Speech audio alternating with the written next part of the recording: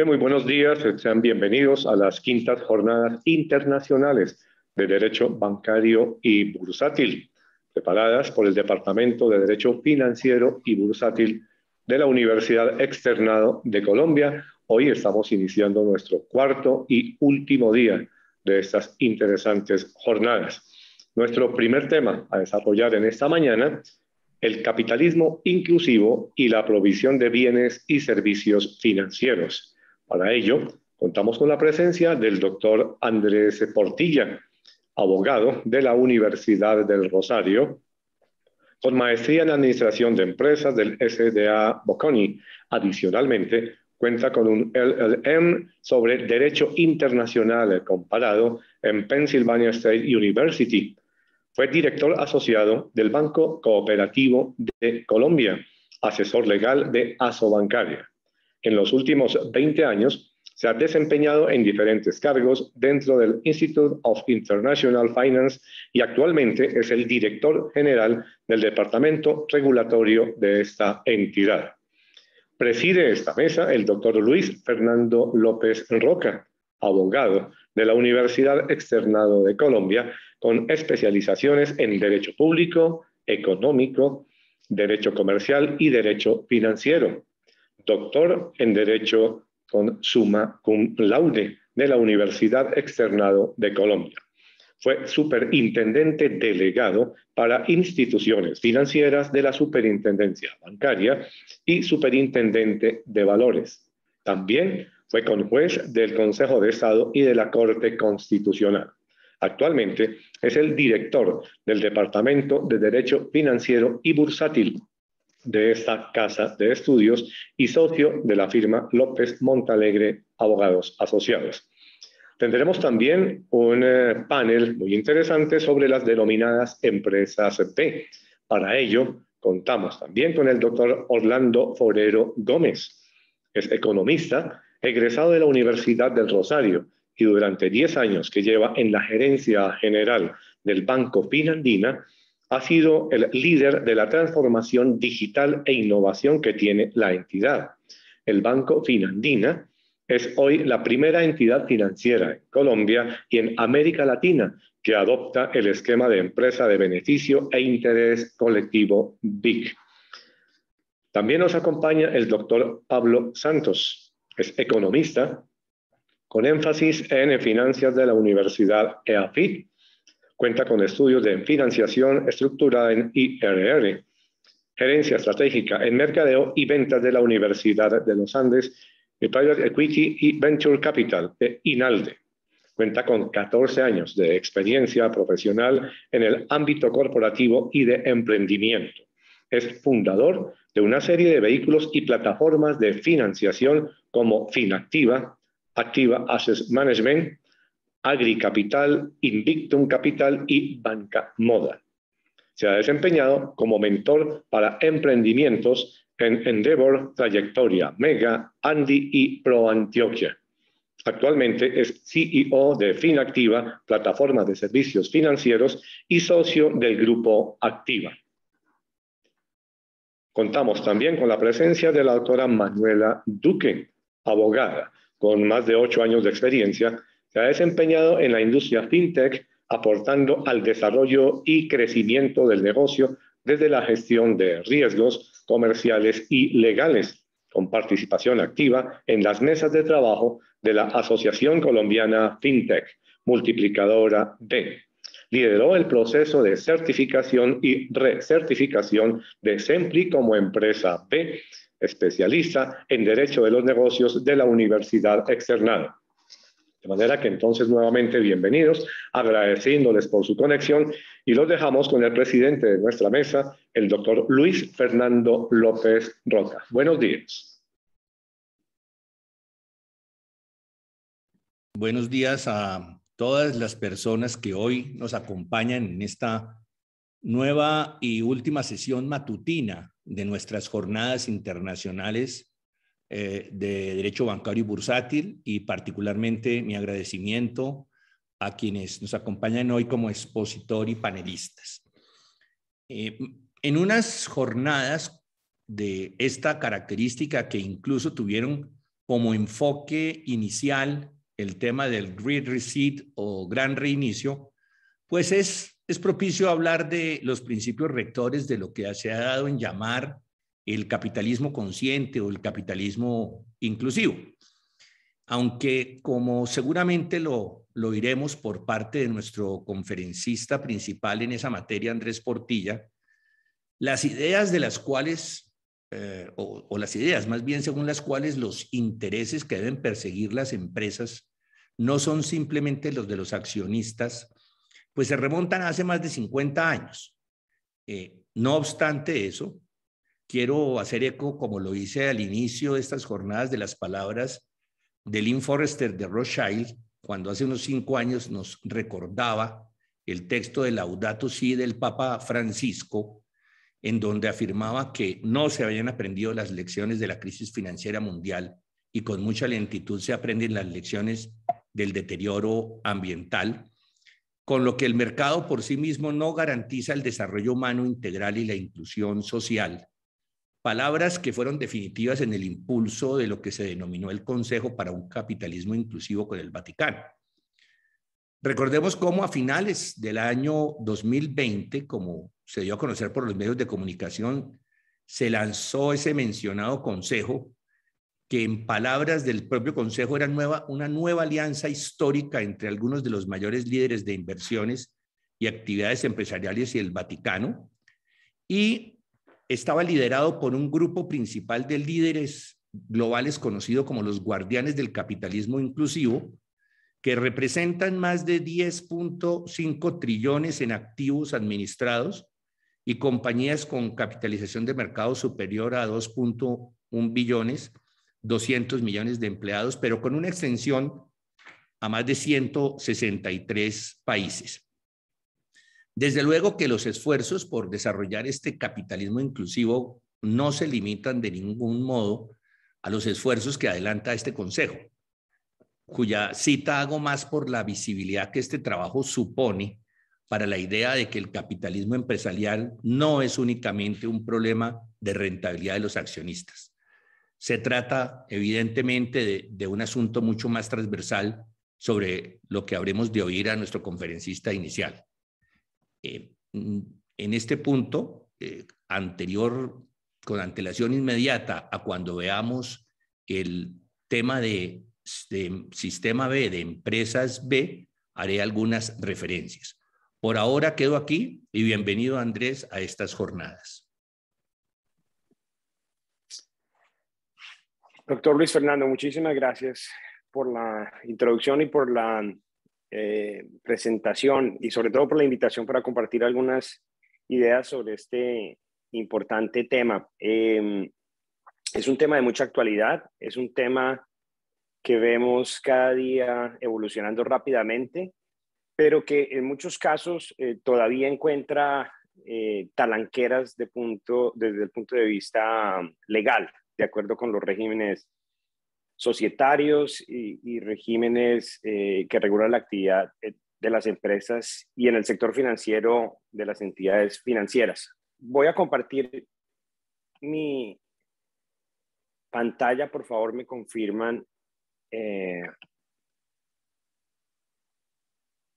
que se está viendo correctamente.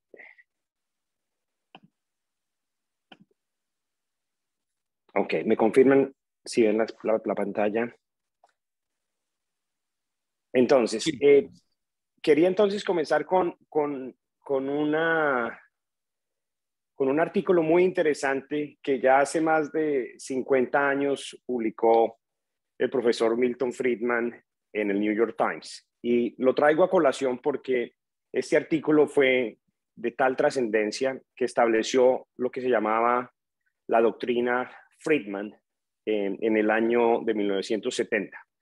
Como ustedes saben, el profesor Friedman de la Universidad de Chicago es el gran impulsor eh, de estas ideas de, de, los Chicago Boys y que han dado base eh, muy clara a lo que se llama el capitalismo de los accionistas. El profesor Friedman en este artículo, que es, que es muy interesante, que si lo leemos ahora, algunas veces nos causa un poco de, de, consternación o por lo menos nos llama la atención el lenguaje que él utiliza.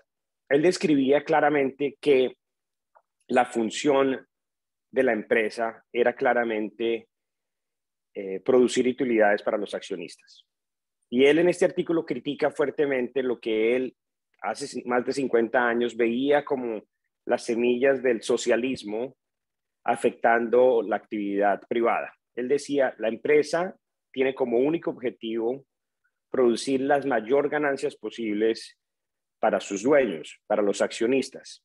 Cualquier otro uso que le demos a la empresa nos desvía de este objetivo y lo que hace es utilizar, en el caso de los administradores, utilizar fondos que no les son propios para un objetivo distinto al cual le le ha sido dado por parte de los verdaderos dueños de la empresa. Y él decía que si una empresa quiere realizar acciones sociales, pues debemos organizar una empresa de beneficencia y esa empresa entonces tendría un objeto claro y los administradores al desarrollar ese objeto social cumplirían con su mandato de realizar actividades benéficas.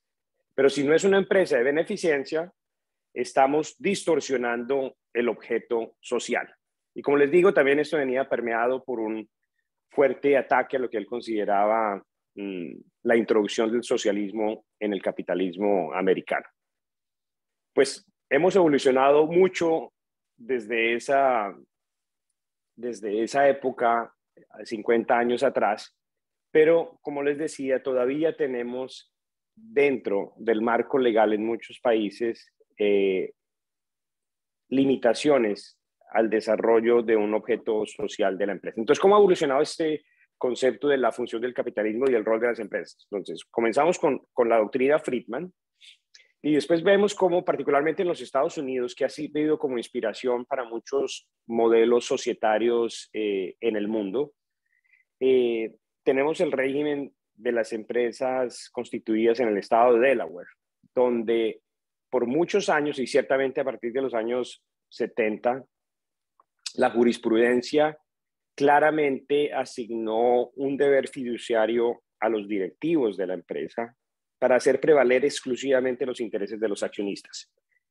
Y esta doctrina y esta jurisprudencia se ha mantenido por muchísimos años y solamente hace unos 20 años, en los años 2000, comenzamos a ver cambios de la jurisprudencia o por lo menos eh, discusión activa respecto de las limitaciones de este llamado deber fiduciario bajo las leyes del estado de Delaware. Esto ha resultado en que algunos otros estados eh, hayan promulgado legislación que aclara este objeto social y que le permite a los directivos de una empresa de tener en cuenta los intereses de otras personas, de otros participantes, más allá de los accionistas. Entonces, por un lado, desde el punto de vista legislativo, aquí en los Estados Unidos se ha expandido esa noción del deber fiduciario, pero también hay un esfuerzo muy grande en este momento para expandir bajo las reglas del Estado de Delaware eh, la interpretación de este principio.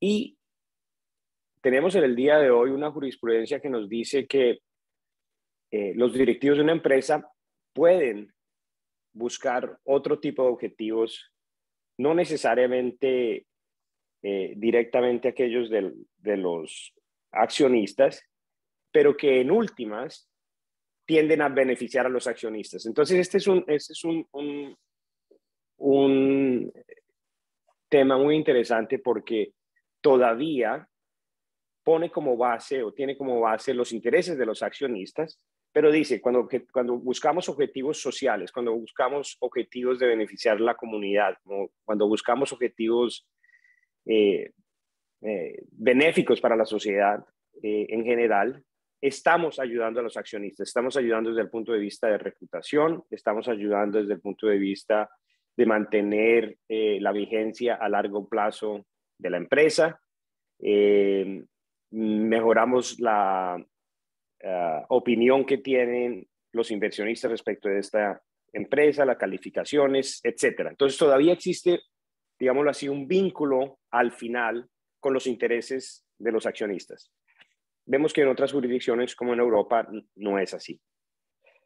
Entonces, como les decía, entramos a, a mirar que la sociedad tiene un nuevo universo de partes interesadas, que no son solamente eh, los dueños, los accionistas, pero que también son eh, los empleados desde el punto de vista interno de la sociedad y unas partes interesadas externamente a la sociedad, que claramente son los proveedores, es la sociedad en general, los gobiernos donde funciona esta empresa, los acreedores y ciertamente los clientes eh, de la empresa. Y es así como llegamos entonces al concepto actual del capitalismo inclusivo, que es principalmente abandonar esa visión de corto plazo, una visión de corto plazo que está enfocada exclusivamente en maximizar las utilidades de la empresa a beneficio de estos accionistas. Entonces, creación de valor a largo plazo para todas las partes interesadas. Y entonces, como lo decía en la, en la diapositiva anterior, las partes interesadas ahora son eh, un grupo mucho más grande que incluye los inversionistas, los empleados, nuestros clientes, los gobiernos, las comunidades y el planeta en general, que es un tema que actualmente tiene eh, mucha vigencia desde el punto de vista del cambio climático y la sostenibilidad. Entonces, este capitalismo inclusivo busca pues, que todas las personas tengan las mismas oportunidades para que puedan buscar prosperidad y calidad de vida independientemente de temas como religión, edad, género, origen étnico, origen social. Que, y esto es muy americano, la definición de, darle resultados equitativos para aquellos que tienen las mismas oportunidades, ¿no? Entonces es, por un lado, que todas las personas tengan las mismas oportunidades y entre todos los que tienen las mismas oportunidades, que los resultados sean equitativos. El tema de la equidad intergeneracional, eh, que sobre todo en materia ambiental es tan importante y es que una generación no sobrecargue el costo para la generación que viene. Y, en esto no hay un tema más claro que el tema del cambio climático y los beneficios que las generaciones actuales están obteniendo, tal vez eh, a costas de los beneficios de las generaciones futuras. Y también tratar de restablecer eh, un equilibrio y un balance con aquellas personas, aquellos sectores de la sociedad eh, cuyas circunstancias les impiden participar plenamente en la economía. Es un poco el tema de rebalancear las oportunidades y los resultados eh, sociales y económicos para todos los sectores. Entonces, se atribuyen ya estas responsabilidades a la empresa comercial, más allá de lo que veíamos originalmente como un deber exclusivo de maximizar las utilidades de aquellas personas que proporcionan capital a la sociedad y que son sus accionistas. Un, un hecho muy importante sucedió aquí en los Estados Unidos hace un par de años y es cuando el consejo gremial más importante eh, aquí en Estados Unidos, con sede aquí en Washington, em, que se llama el Business Roundtable, que reúne a personas como las que ustedes ven eh, y a empresas como Apple, Amazon, eh, General Motors, BlackRock, el Bank of America, etcétera, se reunieron y tras lo que fue una ardua negociación y una discusión y, y por lo que me han comentado colegas en dicha entidad, inclusive yendo más allá de lo que los abogados internos del gremio estaban recomendando, decidieron eh, formular una declaración que fue considerada como una mm, capitulación y una, eh, un corte con el pasado y sobre todo con la doctrina Friedman. Entonces se vieron en la necesidad de este Consejo Gremial de decir claramente y de formular una declaración a la cual sus empresas se adherían, por la cual expresamente denunciaban el anterior eh, modelo de maximización de utilidades y decían, de ahora en adelante nuestras empresas se comprometen a crear valor a los clientes, a invertir claramente en el bienestar de todos sus empleados, de tratar justa y éticamente a los proveedores, de comprometerse a tener un rol activo y benéfico con la comunidad y con el ambiente. Y asimismo, crear valor a largo plazo para los accionistas, que es el tema que les comentaba de cambiar esa, esa visión de corto plazo. Esto fue muy bien recibido dio después también eh, origen a otras actividades como las que comentaba el doctor eh, Luis Fernando con este Consejo de Capitalismo Inclusivo. Pero quería también compartir con ustedes la reacción que ese mismo día tuvieron eh, los inversionistas. En este caso, a través de otro ente gremial aquí en Estados Unidos muy, muy poderoso, que es el Consejo de Inversionistas Institucionales, ¿no? que se consideran ellos la voz del buen gobierno corporativo. En ese, ese mismo día que el Consejo Gremial estableció este nuevo, eh, esta nueva aclaración de principios, el Consejo de Inversionistas Institucionales responde que tal declaración les causaba mucha preocupación, que no estaban de acuerdo y que la consideraban muy negativa. La consideraban negativa porque está poniendo eh, en el último lugar los intereses de los accionistas, quienes son quienes proveen el capital y en últimas dueños de estas sociedades. Que asimismo crea obligaciones que son poco claras para los directivos de las empresas. Y entonces dicen ellos que se daña el gobierno corporativo porque estos objetivos, llamemos genéricos de ayudar a la sociedad, no pueden ser verificados, no pueden ser comprobados, no pueden ser auditados y eh, crea confusión en lo que son las responsabilidades de los directivos de la empresa. Y que finalmente eh, reduce a los accionistas como unos simples proveedores de capital y no como las personas que están llamadas a decidir eh, el accionar y el futuro de la empresa. Entonces, vemos cómo todavía existe un gran debate respecto de este esta función social eh, de la empresa. Es cierto, y aquí en esta encuesta realizada por, por la organización que se llama Just Capital o, de, capital justo y equitativo, eh, ha mejorado significativamente a partir del año 19 la imagen que tienen las empresas aquí en los Estados Unidos. y aquí se les preguntaban a las personas si estaban de acuerdo con afirmaciones tales como si las empresas, las grandes empresas están promoviendo una economía que sirve a todos los ciudadanos con un incremento de, de 20 puntos en solamente dos años de la percepción de las personas. E igualmente en otros eh, factores como si la economía está permitiendo el progreso de las personas a través de, su trabajo y su creatividad y si eh, las empresas están construyendo una economía en la cual se puede vivir una, vida, eh, digamos, digna y justa. Entonces, digamos que ha tenido un gran impacto y un impacto positivo. Un caso concreto, eh, práctico, de, cómo aplicar estos conceptos y cómo, cómo, vienen eh, aplicados, es un debate que tenemos actualmente sobre lo que se llama materialidad en la divulgación de información financiera en temas de cambio climático y sostenibilidad.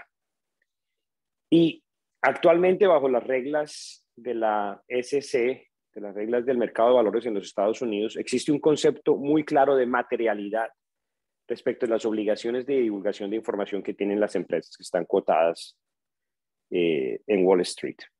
Y sucede que eh, se determina un concepto de materialidad muy claro que es el deber de divulgar toda aquella información que un inversionista razonable utilizaría para tomar decisiones sobre esta empresa. Entonces, un, en, el cambio, en, el en el tema de cambio climático, es una materialidad, eh, digamos, unidireccional, que es cuál es el impacto que tiene el cambio climático en la empresa. Entonces, eso es lo que una empresa como General Motors, bajo las reglas, llamémoslo, legales del mercado de valores en los Estados Unidos, tendría que divulgar. Hasta el día de hoy, esto está cambiando. En cambio, en Europa se maneja un concepto de doble materialidad, por el cual no solamente medimos el impacto que tiene el cambio climático sobre las actividades de la empresa, sino también existe una obligación de divulgar cuál es el impacto de la actividad de la empresa sobre el cambio climático. Una doble materialidad. Y decía que aquí en los Estados Unidos, bajo las reglas de la SEC, eh, es un tema que está cambiando eh, con el cambio de gobierno en la administración Biden. Ya el nuevo director de la SEC, Gary Gensler, ha anunciado eh, que se está trabajando en un nuevo estándar de divulgación de información en, tema, en, los temas de, cambio climático.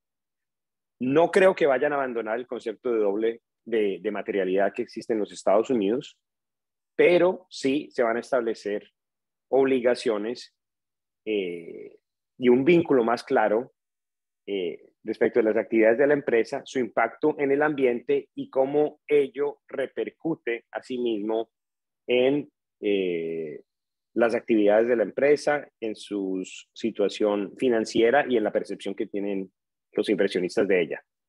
Acelero para discutir eh, el tema de, bueno, entonces, ¿cómo medimos esta actividad social? Entonces, ese era el tema que los inversionistas institucionales criticaban tanto, que decían, bueno, esta, este nuevo papel que le damos a la empresa es difícil de medir, es difícil de cuantificar y entonces, eh, digamos que socava el, buen gobierno corporativo.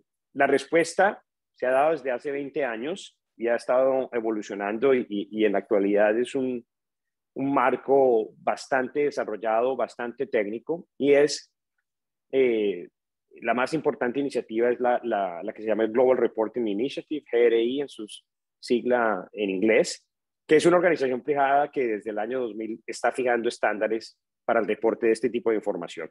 Entonces, lo que hace este nuevo estándar de divulgación de información que va en paralelo a los estándares tradicionales de contabilidad de manera internacional del el IFRS, digamos que tenemos dos marcos paralelos de divulgación de información y este es divulgación de información no financiera. Entonces, bajo estos estándares de GRI, eh, se establecen definiciones, la terminología y metodologías para la cuantificación de este impacto social. con medidas, bueno, llamémoslas obvias, como por ejemplo divulgar las emisiones de, de carbón, eh, las condiciones eh, de empleo de los trabajadores, la transparencia de los estados financieros, eh, el trato de minorías, etcétera. Son cientos y cientos de, de variables.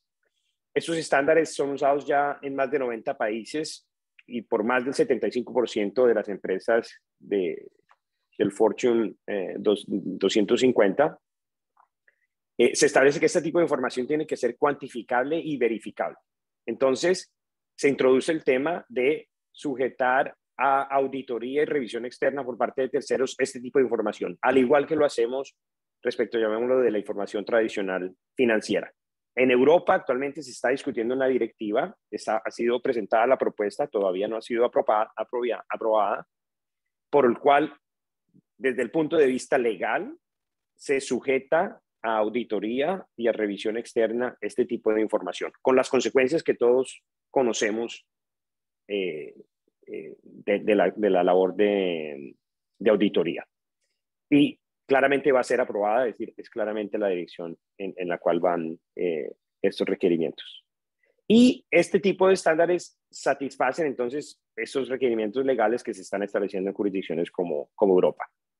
Ya para concluir, eh, un comentario final sobre, bueno, ¿dónde está el sector financiero y, cómo lo podríamos aterrizar este tema? ¿Y, dónde es que verdaderamente eh, entran las discusiones puntuales y, prácticas. Entonces, vemos cómo los bancos han tenido un gran avance, grandes desarrollos y han, logrado eh, grandes avances en este campo, pero, los cuales, pero también hay, hay temas que subsisten que, que representan retos importantes. Uno es el tema de la reputación con los clientes y sobre este tema traigo a colación eh, una encuesta realizada hace pocos días que me llamó mucho la atención porque se ocupa específicamente también del caso de Colombia. Entonces, la empresa Edelman, que es la que administra lo que se llama el barómetro de confianza en las empresas, mide mes a mes eh, el nivel de confianza que tiene el público en las empresas y entonces y la reputación. Y se veía que por el tema de la crisis del COVID, si bien eh, el sector financiero ha tenido un repunte en su eh, reputación y en la imagen que tiene con el público,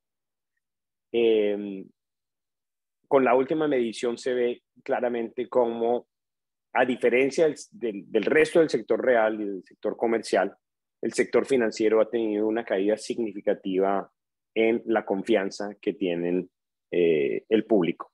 Y se trae a colación el tema de Colombia porque Edelman, que hace esta encuesta en todo el mundo, eh, midió cómo eh, en Colombia es, es, uno de los dos países que tenido una caída más significativa del tema de la confianza y la reputación con el público. Vuelvo entonces a, temas puntuales como son mejorar esa reputación con los clientes y con la sociedad en general, la discusión de tema de, selección de los clientes en los cuales todavía se considera que la banca eh, tiende a, hacer prevalecer los intereses de eh, clientes de, menor riesgo, eh, sin dar oportunidades, digamos, a esos sectores que tradicionalmente no han tenido acceso al crédito. Y en la crisis del COVID como quienes han logrado obtener eh, por parte de las entidades financieras, no por parte de los gobiernos, crédito han sido más los clientes con, llamémoslo, con buena capacidad, que es natural desde el punto de vista de gestión de riesgo, pero nos crea dudas. Eh, en la transparencia y los costos y las condiciones de los préstamos, la financiación de actividades nocivas al ambiente, tema muy de moda, los temas tradicionales de combate al lavado de activos, financiación del terrorismo, combate a la evasión fiscal, Panama Papers, etcétera, y la educación e inclusión financiera. lo que estos son en general las áreas en las cuales el sector financiero todavía sigue siendo llamado a jugar un mejor papel en la sociedad. Con esto, doctor Luis Fernando, concluyo y, permito eh, preguntas eh, si así bien lo tienen. Muchas gracias. Muchísimas gracias, Andrés. Eh, muy, muy interesante y provocador la referencia al cambio desde el modelo de Friedman al modelo de hoy. en este momento no veo en el chat preguntas, entonces me atrevo a hacer un comentario inicial. Mm, es un, el capitalismo inclusivo es un poco ingenuo. Eh, realmente mm, los accionistas, y este es un tema que vamos a ver a continuación con las empresas B, eh, porque no recordemos que ahí hay una reforma de estatutos que hace que quienes compren acciones ya estén notificados de que no solamente les va a interesar la rentabilidad de sus administradores, eh, pero es realista que en un mundo como el actual, más allá, desde luego, de, los temas relacionados con conciencia sobre cambio climático, con responsabilidad social, eh, realmente los accionistas estén dispuestos a hacer el esfuerzo eh, en sociedades que no eh, solamente se van a ocupar de su rentabilidad, eh, ¿Cómo resolver ese, como, ese, ese dilema y hacia, dónde ves, Andrés, que va a evolucionar esa tensión entre estas dos, dos visiones? Sí, sí, Fernando, y ese ha sido el, el, tema, digamos, central que se ha discutido aquí en Estados Unidos en, en, la evaluación de este concepto. Eh, para mí hay dos temas fundamentales. Uno es este argumento del, del, corto plazo y el largo plazo. Y para mí es claro que eh, tenemos ya evidencias y, datos e información que nos muestran cómo estas empresas que adoptan un modelo de largo plazo, eh, precisamente en ese largo plazo tienden a ser más rentables que aquellas que se ocupan exclusivamente de la rentabilidad de corto plazo.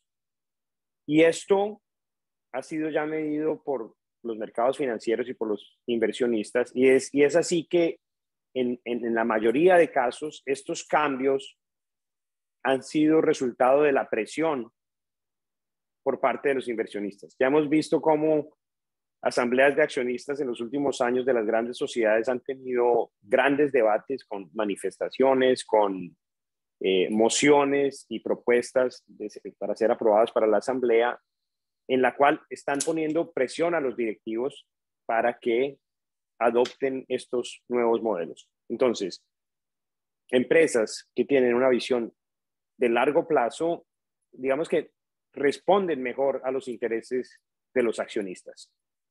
Eh, y esto, eh, como les digo, se viene eh, reconocido y, ha sido impulsado por la base de inversionistas.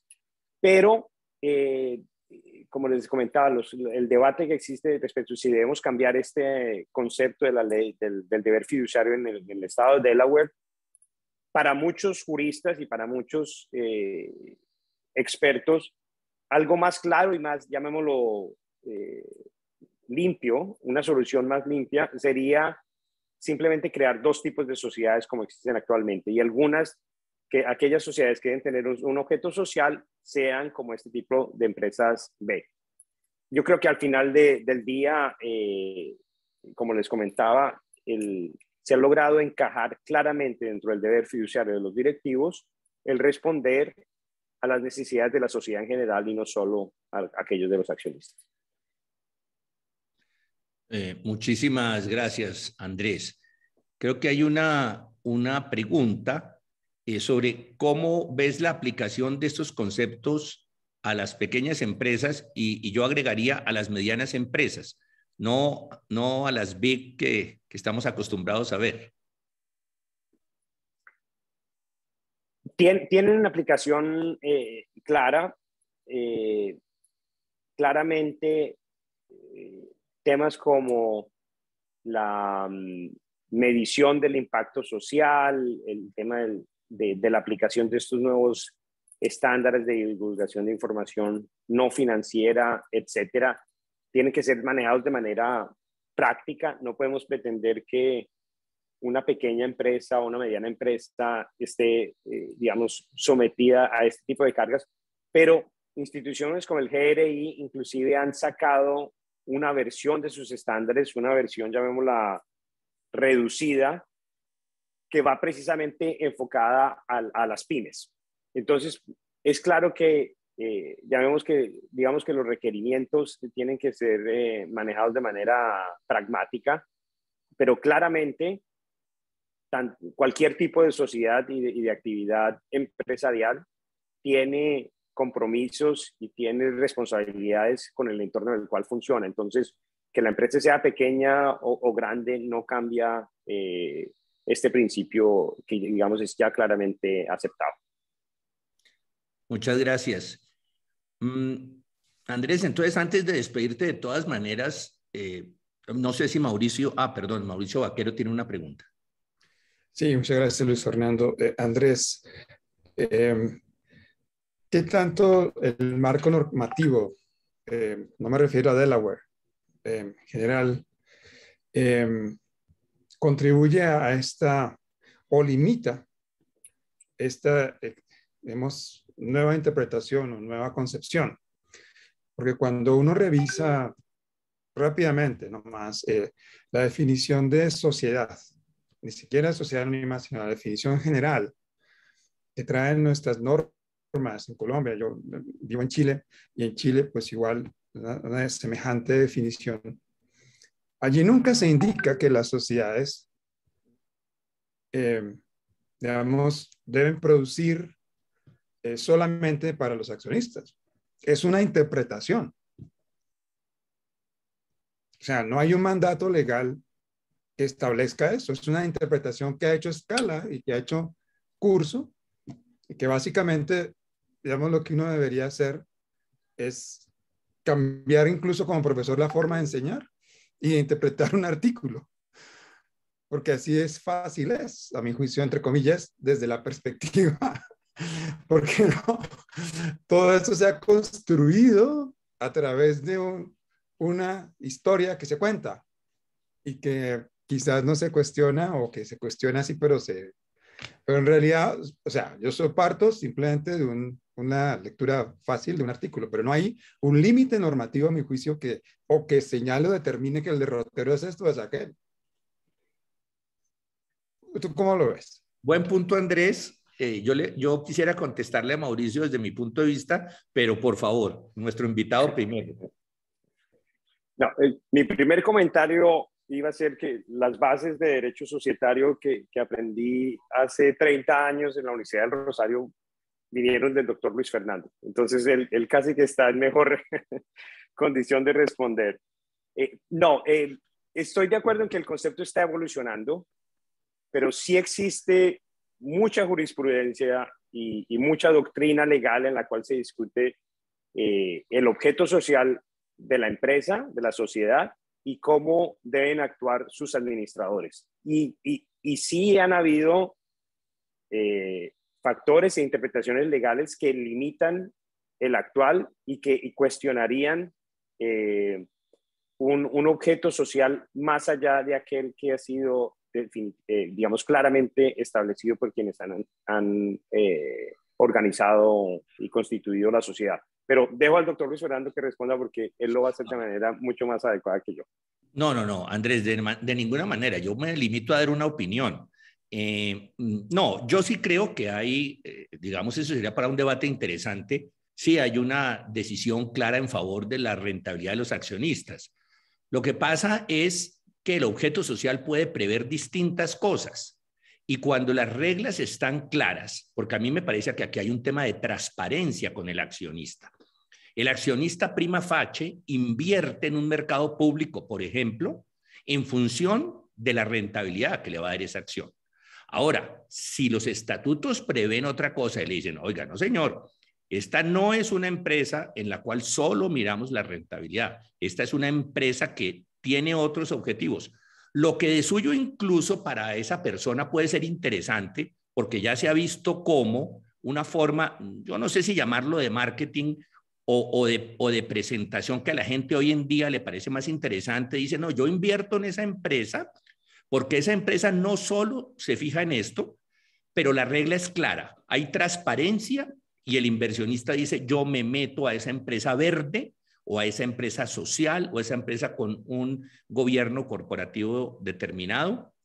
Eh, y me parece que hacia allá debemos avanzar, que los accionistas sean, digamos, sean claros cuando compran su acción en que van a hacerlo en una eh, empresa eh, con em, con una responsabilidad social determinada. Ahora que entremos al panel de empresas B, creo que ese, ese, comentario de Mauricio va, a ser muy, muy interesante para que sea resuelto por nuestros panelistas.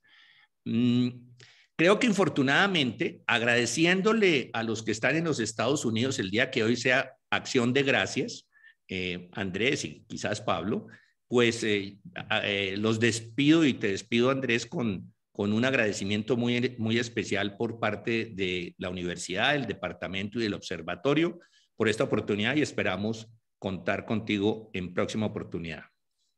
Muchas gracias, Luis Fernando.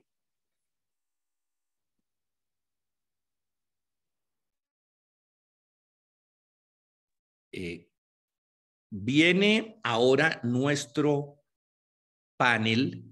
Yo quisiera dedicar dos minutos a recordar eh, nuestro panel. Le doy la bienvenida a Pablo Santos, le doy la bienvenida a Manuela y le doy la bienvenida a Orlando, quienes eh, nos están acompañando hoy.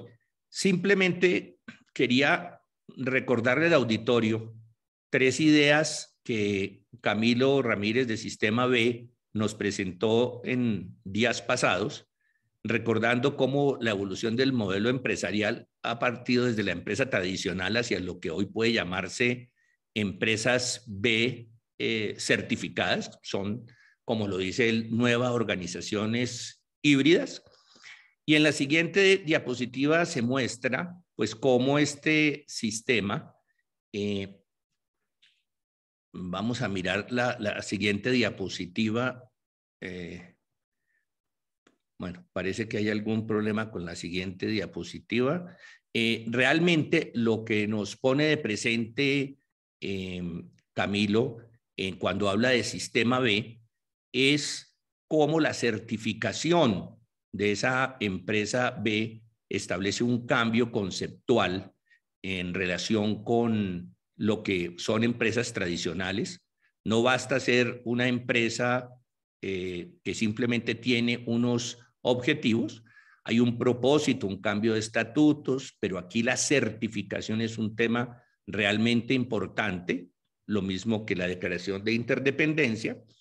Y al final del día, con esa certificación, a la cual alude tal vez la, diapositiva siguiente, eh, realmente después de esa evaluación, eh, las empresas entran en una certificación que eh, la, diapositiva siguiente nos, nos expresa por qué ya esa evaluación le permite también inclusive medir el aporte a la empresa de los objetivos de desarrollo sostenible. Entonces, nos encontramos frente al escenario de las empresas B y hoy nos, digamos, vamos a contar con las experiencias de tres empresas B eh, que actúan en sus diferentes eh, marcos de acción. Hoy está Pablo Santos, nos, eh, con quien, a quien vamos a darle la palabra para iniciar su presentación. Eh, vamos a contar en principio con 15 minutos por cada uno eh, y después nos vamos con preguntas y con réplicas. Pablo, muchas gracias por acompañarnos el día de hoy. Muchas gracias, doctor Luis Fernando. Un saludo a todos los, las compañeras y los compañeros del panel y a las personas que nos están acompañando el día de hoy. Eh, pues esta es, una, esta es una discusión que me encanta, Luis Fernando, porque incluso si uno se va un poquito más allá, más atrás de, del rol y que empezamos a discutir el rol del empresario en la sociedad, o sea, no solamente el rol de la empresa como creadora de valor y ese valor cómo se comparte, si se comparte exclusivamente con sus accionistas o con sus diferentes grupos de interés y cómo puede generar un impacto positivo la empresa en, en, digamos, en sus diferentes grupos de interés, Yo creo que Colombia y América Latina ha vivido recientemente ciertas situaciones eh, que reflejan el, el, digamos, la gran problemática social que tenemos. ¿cierto? Hay, hay, otras problemáticas ambientales, por ejemplo, donde, donde simplemente a veces nos hacemos los, los sordos o los que no vemos. Pero en el, en el problema social que tenemos en América Latina y en Colombia particularmente, y que nosotros vimos reflejados en diciembre, en noviembre y diciembre del 2019, y que lo vimos reflejado entre marzo y abril de este año, ¿sí? que fueron problemáticas sociales que se agravaron por la pandemia. Estamos hablando de temas de falta de acceso a oportunidades, de informalidad en el, en, el, en el trabajo de las personas, de la falta de empleo en los jóvenes, de problemas de salud, de problemas de educación. Entonces, cuando uno se va a ver eso, históricamente en los gobiernos, esos son retos que, que resuelven los gobiernos, o sea, que resolvemos de manera colectiva desde los gobiernos, pero, pero en, en de, de, de, ciertas décadas para acá, pues ha venido, se ha venido, digamos, discutiendo alrededor del rol de los empresarios en la sociedad y cómo esa creación de, valor compartido y esa creación de, un movimiento del capitalismo consciente, cómo hacemos nosotros para, como empresarios, entender que no solamente nuestro rol es generar empleo, o nuestro rol no solamente es construir riqueza, ¿sí?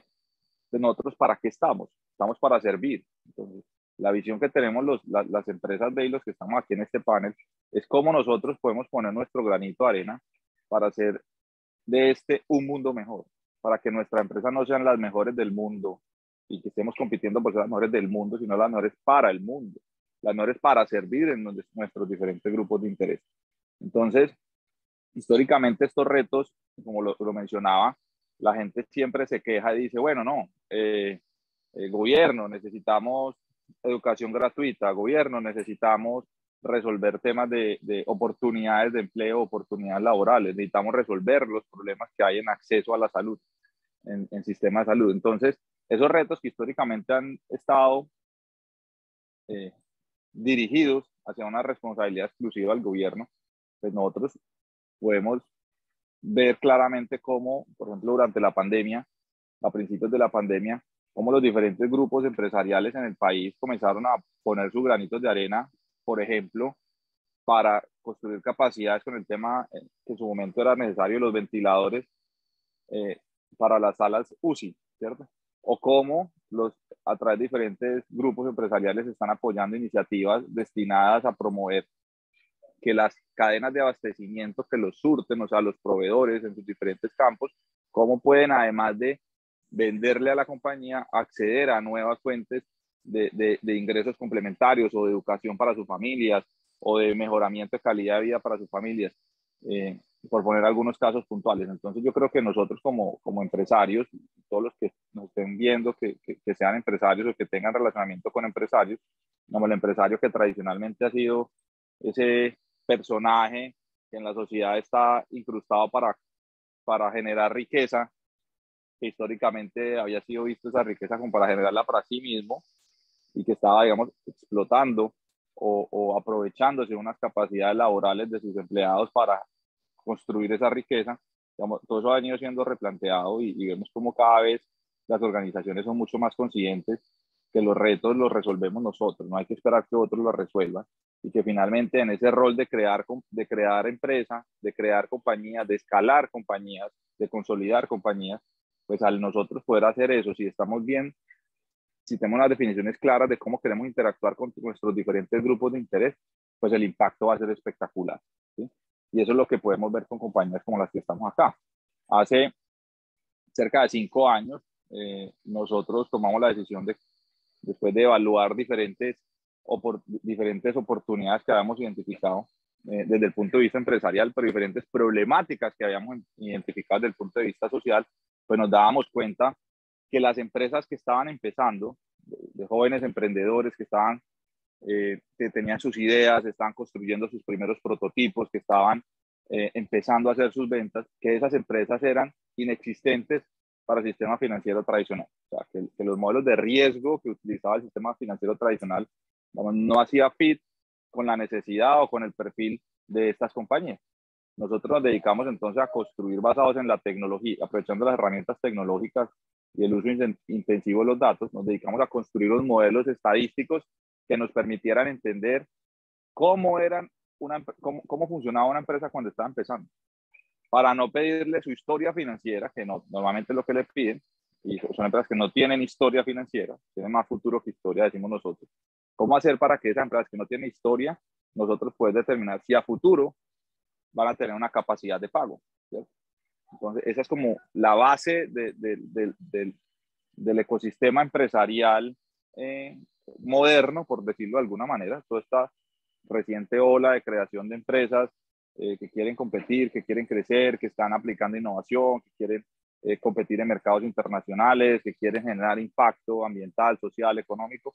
Esa comunidad de empresas que estaba comenzando a despegar y a crecer tenía normalmente, teníamos datos que normalmente dos de cada tres empresas no accedían, el 66% no accedía a fuentes formales de financiación y que normalmente las empresas, lo que llama el valle de la muerte, se morían principalmente por falta de capital de trabajo. Entonces, eso fue un detonante para construir esta solución. Entonces, en el 2016, Finactiva construye un producto mínimo viable, una plataforma tecnológica que a través de, de su portal digital recibe solicitudes de financiación de los emprendedores, se conecta en línea con diferentes fuentes de información no tradicionales para procesar eh, con sus modelos estadísticos cómo se va a comportar, cómo se comportaría a futuro esta empresa y le decide otorgar unos, unos, unos mecanismos de financiación.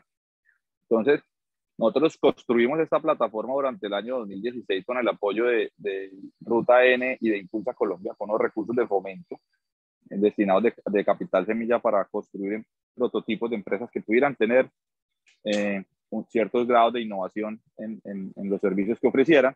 Entonces construimos este prototipo en el año 2016, en el año 2017 salimos a probar y lo que nos encontramos fue espectacular. En febrero de 2017 colocamos nuestra primera operación de, de crédito a una pequeña empresa joven en Medellín, eh, un crédito de 70 millones de pesos. Eh, y lo que comenzamos a ver fue que las empresas solitas, sin hacer eh, publicidad, sin hacer marketing, con la sola necesidad que tenían, comenzaron a llegar de manera recurrente.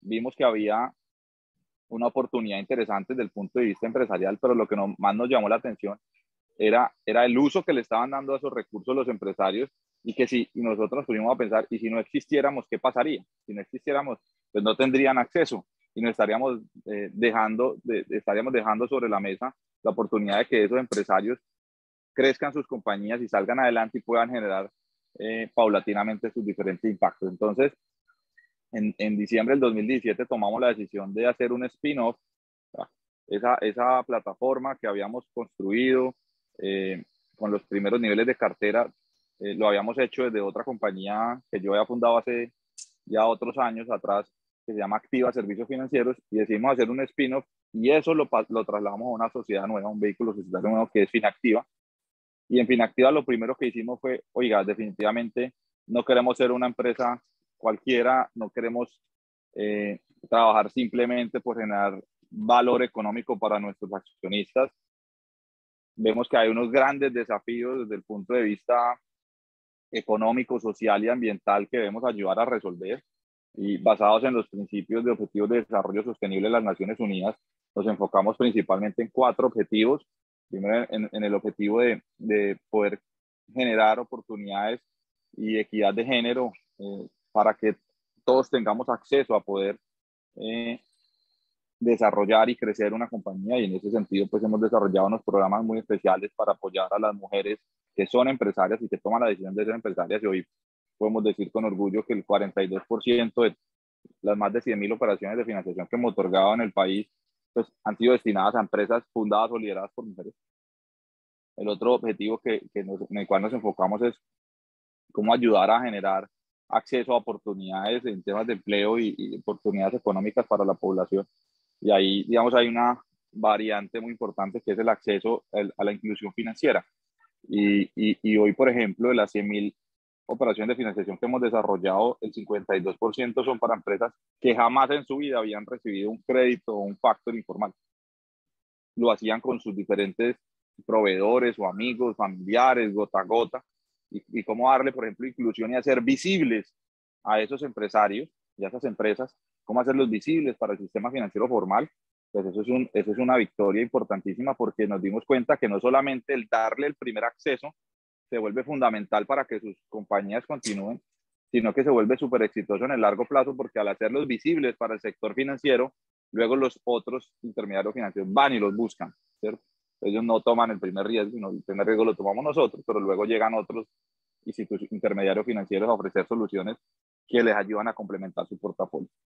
El otro objetivo en el cual estamos enfocados en nuestra compañía es, digamos, hay un, aquí hay un gran reto ambiental y definitivamente cuando una compañía decide generar modelos de negocio que, impacten de manera positiva el ambiente, estamos hablando de, compañías alrededor de industrias, de, la economía circular, de generación de energías renovables, de agricultura orgánica, o sea, que incorporen nuevas prácticas eh, a lo que están desarrollando para que esas, eso pueda generar un impacto positivo en nuestro ambiente y disminuir la huella de carbono.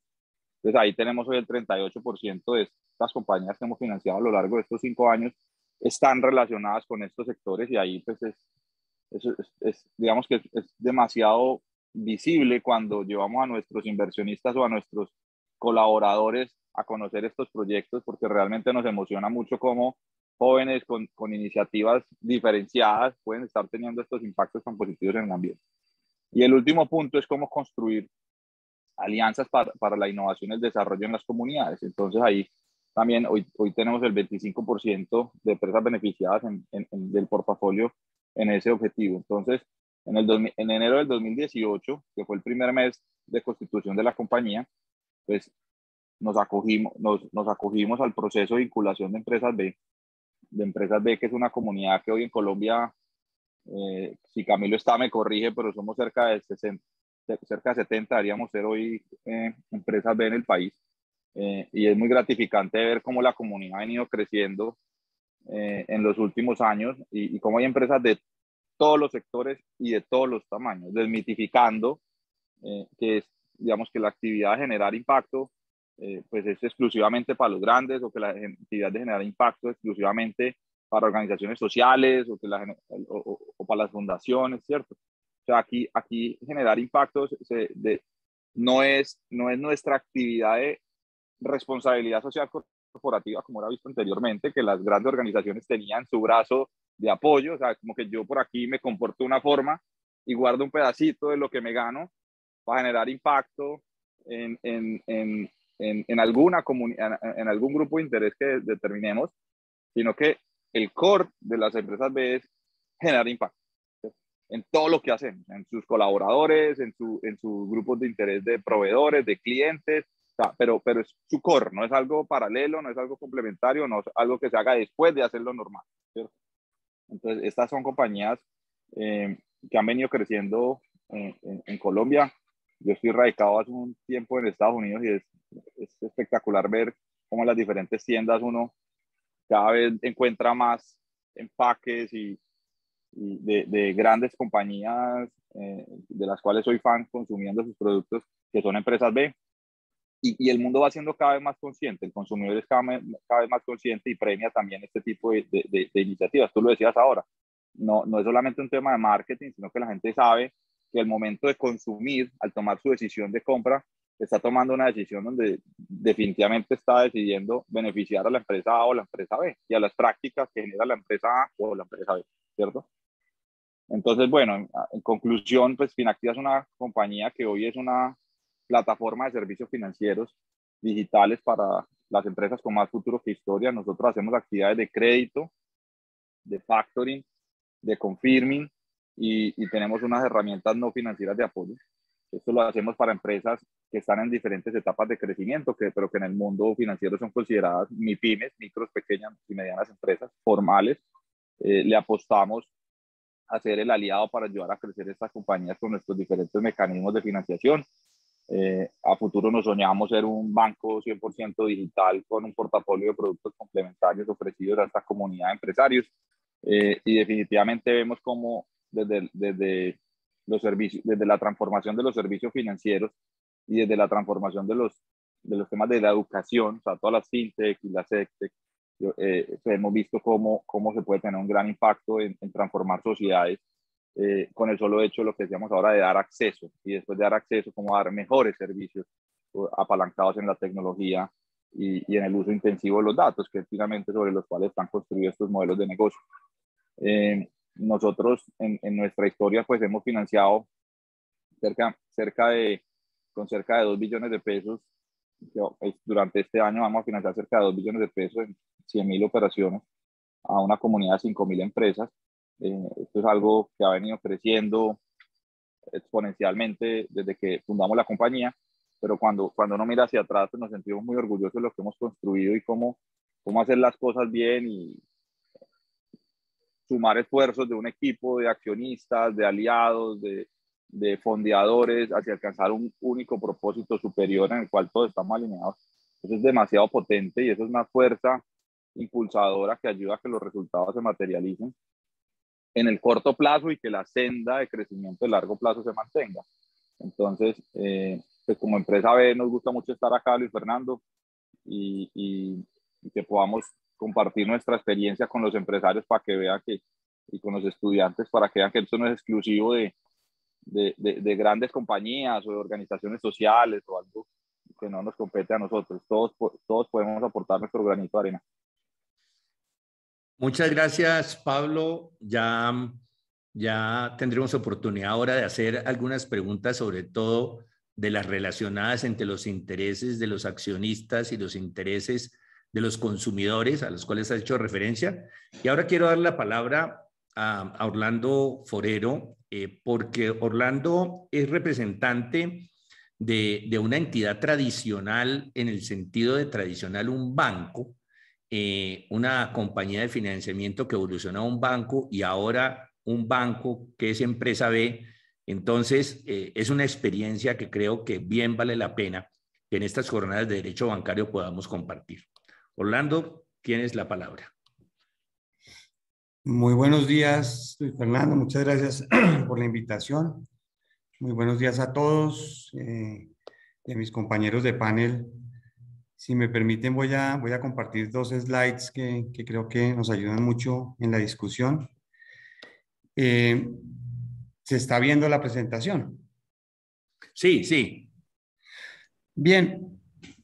Luis Fernando, yo creo que en, la reunión de, en, la presentación de esta mañana, Andrés, quedaron dos preguntas que me parece que, que hacen mucho sentido responderlas para iniciar la presentación. Y es si es ingenuo el capitalismo consciente y es ingenuo el capitalismo inclusivo eh, y si la legislación está preparada para incorporar los conceptos alrededor de, de, esta forma de hacer negocios.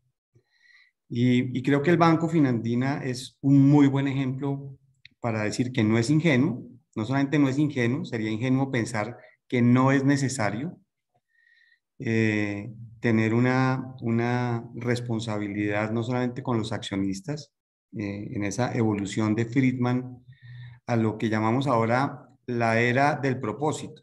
Yo, yo junto de la, de la presentación que hace Pablo, hoy es la era del propósito sumada a la era digital, en la cual la información eh, es mucho más eh, accesible, el uso de la tecnología nos genera nuevos modelos de negocio. y en esa medida, la era del propósito sumada a la era digital es lo que permite que sea ingenuo pensar que una empresa eh, es, puede no ser sostenible en largo plazo. Y aquí lo, lo, intento resumir en este primer slide, es ser una empresa B, digamos el concepto B es un concepto global, ser una empresa BIC es un concepto legal en Colombia, solamente hay seis países que han hecho legislación específica al respecto, Estados Unidos, Italia, Canadá, Colombia, Perú y Ecuador. Eh, Colombia en el 2019 incursionó en la legislación un poco para invitar a las empresas a que ese modelo, que no es una moda, que no necesariamente es un sello de mercadeo, es un sello de mejoramiento necesario para existir en largo plazo en el marco de los límites que hoy nos impone la sociedad y el planeta. Y eso es bien relevante en la medida en que hoy nuestros demandantes de producto cada vez más están exigiendo el compromiso de las empresas en sostenibilidad y el planeta nos lo está reclamando. Y allí eh, cerraba Andrés su presentación y es parte de lo que está pasando en el mundo en la mala o la mala reputación que tenemos los empresarios frente a la sociedad y principalmente las entidades financieras que probablemente eh, por nuestro papel eh, de ser agente catalizador de los recursos o el monopolio del manejo de los ahorros del público, pues genere algunas animadversiones. Nosotros como banco Finandina VIC, eh, y ahí viene parte de la, de, la, de, la ruta jurídica de cómo nos comprometimos a ser una, entidad sostenible. El banco, como bien lo menciona Luis Fernando, era una entidad especializada en el crédito de vehículos. Financiamos CO2, podría uno decir. En el año 2015 decidimos cambiar nuestro modelo de negocio y dijimos, no, la era digital y la era de la sostenibilidad nos obliga a migrar hacia un modelo diferente. Y decidimos montar un banco digital. Y en esa, en esa medida, hoy tengo, digamos, le presento al público dos bancos.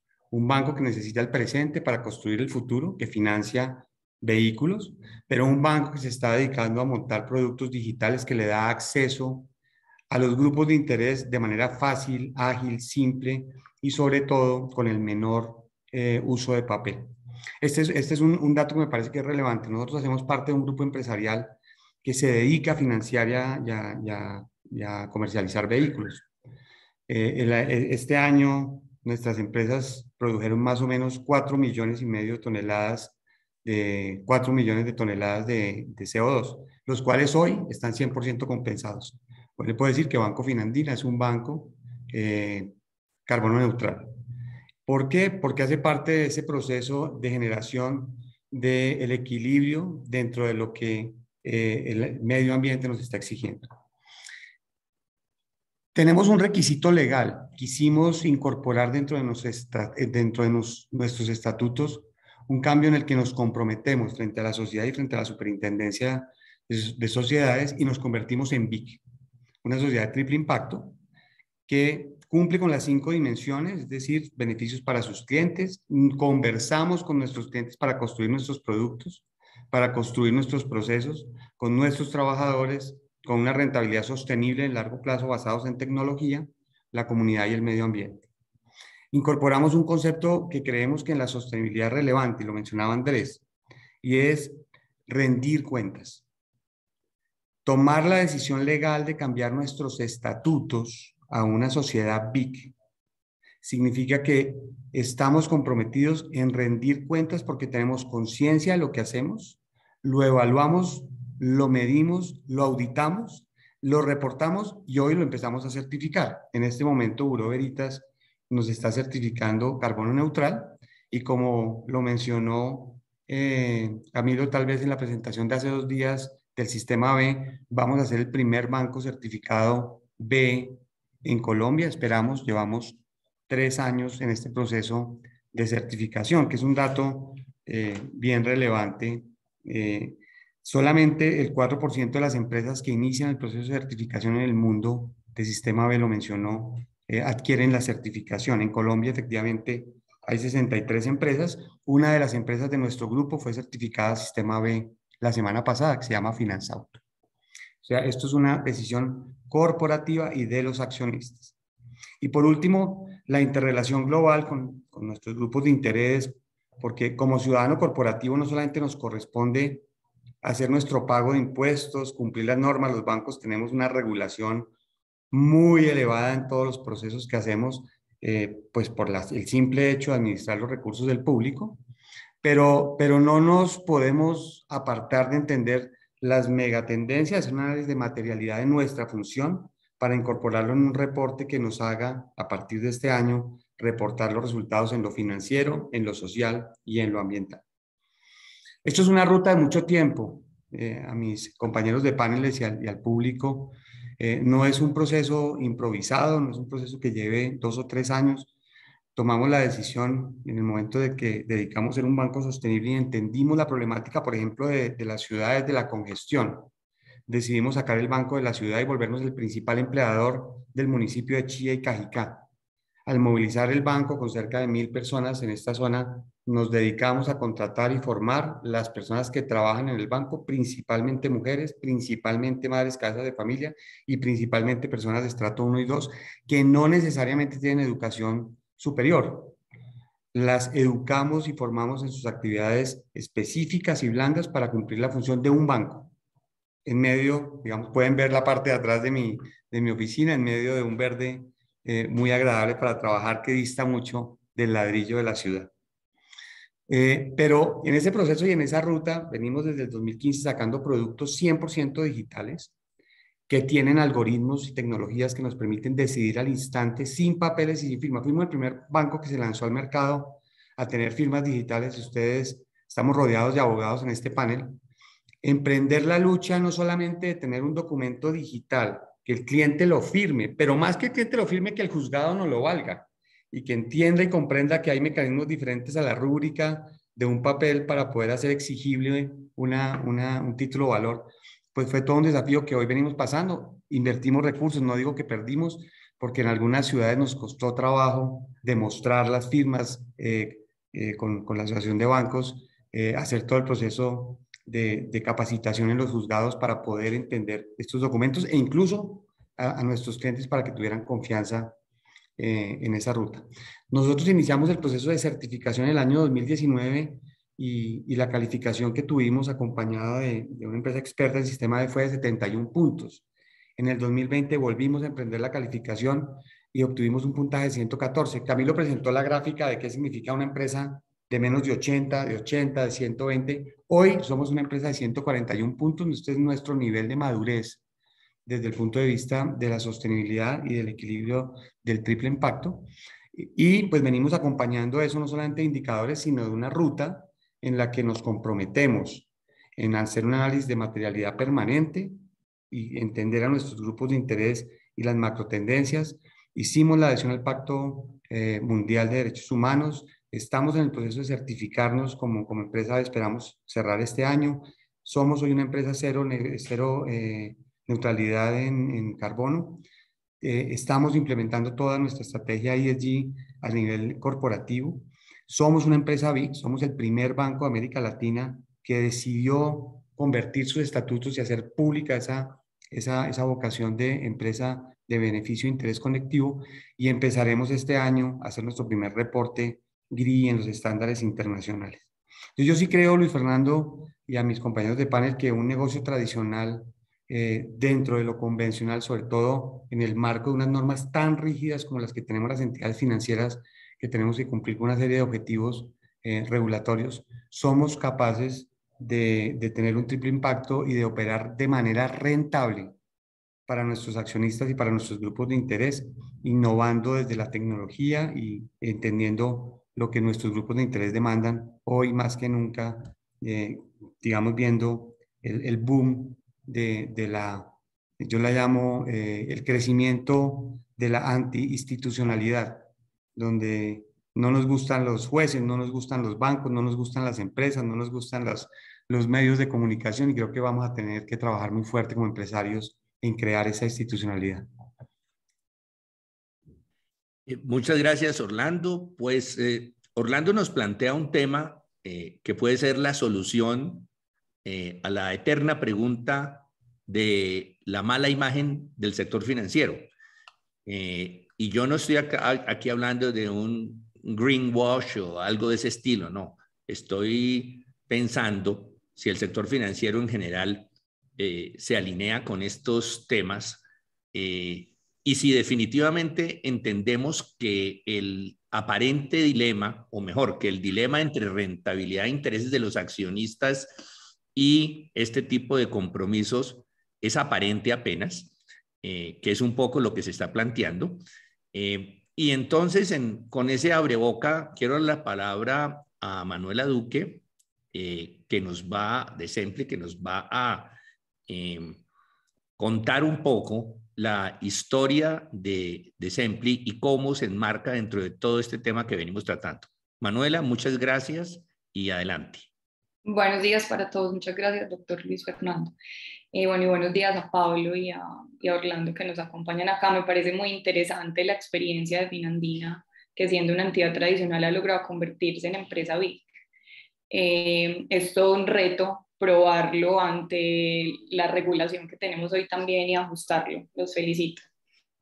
Yo quiero compartirles desde Simpli, nosotros somos una fintech, eh, también damos crédito para pequeña empresa y pues estamos en el reto de ser más cercanos y empáticos con esos eh, empresarios de Colombia que hoy no han sido atendidos por X o Y motivo.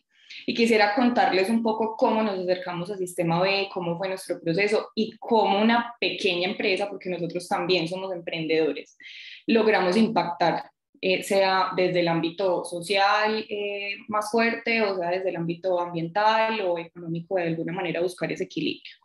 Nosotros tenemos la certificación desde septiembre del 2018. Hemos ganado dos premios con Sistema B em, en el ámbito de clientes, uno en 2019 y otro en 2021. Pero me devuelvo al año 2017 cuando se empieza eh, sus operaciones y se empieza a cuestionar cómo ese modelo de negocio que hoy está pensando, que busca dar acceso a los empresarios que hoy no tienen acceso al sistema financiero. Y me refiero a un acceso efectivo, es decir, no es simplemente que tengan una ahorros, porque creo que una ahorros pues la podemos tener todos, es tener acceso al crédito y que ese crédito les permita crecer. Eh, revisando en el, en el sistema qué podíamos hacer o cómo nos podíamos enfocar, porque también éramos una pequeña empresa eh, de en ese momento dos empleados, hoy 47, eh, donde todos aportábamos al modelo de negocio, cómo cada uno podía enfocarse en algo que le aportara para seguir creciendo y enfocarlo en la sostenibilidad.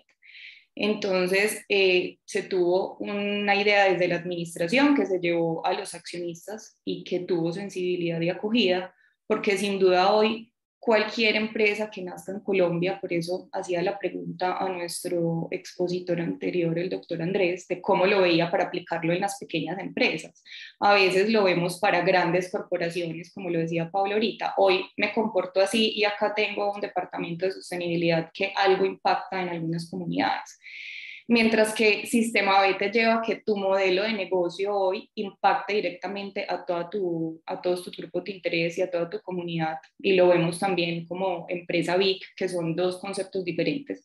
Una cosa es ser empresa B o un concepto es ser empresa B y un proceso es ese, y otro es ser empresa BIC, que tiene otro proceso diferente, todos buscando impactar nuestros grupos de interés. Entonces nos empezamos a cuestionar cómo podíamos enfocar el modelo de negocio que teníamos en ese momento, cuando nace Sempli en el 2016, pero en el 2017 empieza operaciones, y no perder ese norte, ¿cierto? Continuar construyendo sobre la base que teníamos en ese momento y lo que nos estábamos soñando de impacto y de modelo de negocio.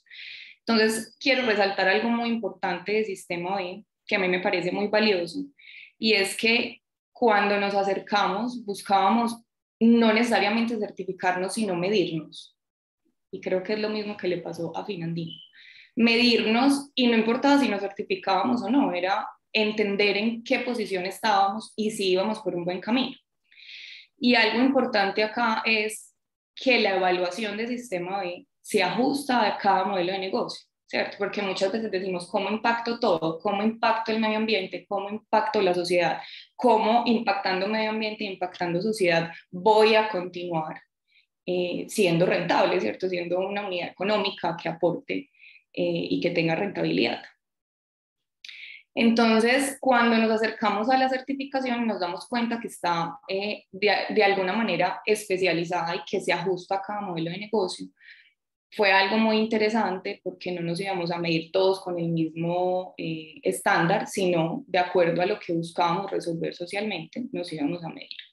Y eso fue algo supremamente interesante para nosotros y para nuestros accionistas, eh, que resalto acá que uno de nuestros accionistas es el Banco Interamericano de Desarrollo, ya con unos proyectos de sostenibilidad pues bastante estructurados y robustos y que muchos conocemos. Dentro de eso, eh, unas listas y unas restricciones, obviamente, de los servicios y las personas a atender. Es decir, hoy, desde los accionistas y desde eh, la instrucción de los máximos órganos sociales, ya había una sensibilidad sobre este tema. Entonces nosotros nos acercamos al sistema B, iniciamos el proceso y llegamos em, en marzo del 2018 y en septiembre del 2018 obtenemos la certificación con 106 puntos después de medir el modelo de negocio que teníamos. ¿Esto qué nos ha ayudado? Nos ha ayudado a enfocarnos para seguir potencializándolo. Es decir, no es solamente en el desarrollo de productos, no es solamente en el desarrollo de productos que nos ayuden a seguir impactando esos grupos de interés, sino desde la funcionalidad o desde la ejecución de operación de Sempli, cómo lo podemos continuar eh, construyendo. Es decir, no solamente es el producto que se le ofrece al cliente, donde hay accesibilidad, hay empatía, que sea más ágil, que sea más rápido, que logre impactar la necesidad puntual, es decir, que no tenga que esperar dos meses, tres meses a que le hagan un estudio de toda la información que le solicitan generalmente en el sistema financiero tradicional, sino que tenga los recursos en el momento adecuado y cuando lo necesita, sino también educarlo, poder darle la información que necesita para que tome la mejor decisión o lo que le corresponda y le convenga mejor a su modelo de negocio. Y desde Sempli, sin duda que todo sea digital y tenemos, cumplimos con el mismo reto que tiene o que ha tenido Finlandina y es educar el sistema, porque hemos invertido tiempo todos acá de diferenciar firma digital de firma electrónica, eh, desarrollar tecnología para que sea mejor la plataforma, para que sea mejor la seguridad. Entonces, ahí resalto de, de Sistema B que si bien es una, es una certificación y es un eh, grupo de interés que nos estamos uniendo, una comunidad que nos estamos uniendo, eh, todos nos podemos medir, desde las grandes corporaciones hasta los más pequeños que estamos iniciando. En ese momento, como les comento, Sempli llevaba un año y dos meses de operación, más o menos. Y si esto se puede materializar, que Pablo muy bien lo decía con sus mediciones. Claro que se puede materializar para nosotros. Si bien no tenemos un impacto global en este momento, estamos construyendo. ¿Cómo? En este momento Sempli tiene más de mil clientes, impacta 23 mil trabajos directos en estas empresas. Con los créditos que ha otorgado y con las mediciones que hemos hecho, se han creado 5.030 empleos el 77% de las compañías que financiamos hoy tienen mujeres en sus grupos directivos y el 29% son propietarias de la compañía en alguna medida, son accionistas. Eh, el 36% de las compañías es la primera vez que acceden a financiación y el 80% es la primera vez que acceden a financiación justa. ¿Justas que con las reglas claras, transparentes, no tienen que ir a eh, obtener una financiación con unos intereses desmedidos. Y algo que se valora mucho hoy para nosotros en el mercado es la cercanía que se tiene con el grupo que estamos impactando directamente. Y sin duda, con, los, eh, con la medición que hoy hace también el Sistema B y con el enfoque que se le ha dado, el impacto principal para Sempli es en clientes, ¿cierto? Entonces empezamos a desarrollar productos donde no solamente buscamos resolver que sea muy rápida la financiación y sea eh, asequible, sino que tengan ellos el dominio completo de lo que hoy ellos o cada uno de los empresarios considera que necesita. Por eso hoy el producto de tarjeta de crédito de Sempli, que el proceso es absolutamente rápido, y ahí pueden tener una fuente de financiación pues directa y supremamente ágil. Entonces cada vez vamos escalando y vamos buscando cómo impactar más ese modelo de negocio, pero también esa, ese grupo de interés puntual. Em, otro, otra invitación que me gustaría hacerle a todos es indagar sobre qué es Sistema y cuáles son los objetivos que cada una de las empresas desde su segmento y desde su eh, modelo de negocio y su objetivo de crecimiento quisiera cumplir. Porque da oportunidad de ajustarlo, es decir, si bien hoy nosotros no somos una compañía que tenga planta de producción y demás donde tengamos un impacto ambiental súper fuerte, es desde lo que hoy hacemos, cómo impactamos. Eh, modelo de negocio con producto a empresas sostenibles, es decir, empresas que busquen algún beneficio ambiental o algún beneficio social o económico. em, o modelo de negocio que busque impactar alguna comunidad puntual. Entonces, desde el producto y desde la misma actividad que es completamente digital y no tenemos pues hoy consumo de ningún tipo de, de, papel. Entonces, más allá de toda la explicación del modelo de negocio, lo que quiero que se lleven es que buscando esa cercanía con alguna certificación de sostenibilidad y ubicándonos en alguno de los estadios de sostenibilidad que Camilo ya explicaba anteriormente y de lo que es Sistema B, podemos marcar una ruta para desde el inicio de una compañía pequeña y emprendedores cumplamos el objetivo de ir construyendo empresa y de ir construyendo empresa con un objetivo sostenible y que eso se puede materializar. Eh, tanto Finactiva como Sempli son la muestra de que se puede materializar y que, y que el impacto es importante en la sociedad, que el impacto que se genera realmente se materializa. Muchísimas gracias, Manuela. Voy a, hacer una segunda, la segunda ronda que les había dicho antes de empezar las preguntas. Eh, mm, ¿Cómo, digamos, la actividad, la actividad de captación y de colocación, eh, mm, cómo se percibe frente a los riesgos tradicionales en la colocación eh, que enfrenta todo, todo, todo prestador y también cómo son las relaciones con el sector financiero en términos de fondeo. Em, estos, ¿Cuál ha sido la experiencia, Pablo eh, eh, y Manuela, sobre todo, eh, en estas relaciones con el sector financiero? Esto es una actividad que es complementaria, los riesgos asociados a la colocación que a veces las entidades financieras miran con, con mucho temor por los ejemplos pasados. ¿Qué, nos podrían contar en, esa materia antes de que abramos las preguntas? Si quieres, Pablo, podrías empezar tú. Gracias, doctor Luis Fernando. A ver, nosotros, como lo mencionaba ahora, empezamos operaciones en el 2017, eh, aprobar la plataforma y lo hicimos como una pequeña unidad de negocio, un pequeño proyecto de innovación de, de, del Grupo Activa y, y, en enero del 2018 empezamos operaciones ya inactivas como tal. Pero siempre, desde, desde que comenzamos a probar la plataforma, digamos, hemos tenido como una, una ruta hacia donde queremos encaminar este proyecto y es volverlo un jugador vigilado en el sistema financiero colombiano. Eh, y desde ese, desde ese punto de vista, pues hemos venido desde el principio implementando en nuestros diferentes, digamos, modelos de relacionamiento las distintas metodologías de gestión de riesgos y de cumplimiento que tiene incorporada la Superintendencia Financiera para sus instituciones vigiladas, a pesar de nosotros no serlo, ¿cierto? Por ejemplo, en los modelos de originación de riesgo eh, y de crédito, nosotros tenemos implementado nuestro modelo de, de referencia comercial, con todos los, los, digamos, los requisitos y todas las recomendaciones que hace la Superintendencia Financiera a sus vigilados, los modelos de provisiones igual, los modelos de gestión de riesgo de, de lavado de activos y financiación del terrorismo, riesgos operativos igual. Y, y, y esto es un reto gigante porque pues, definitivamente la, la, actividad financiera en Colombia es altamente regulada.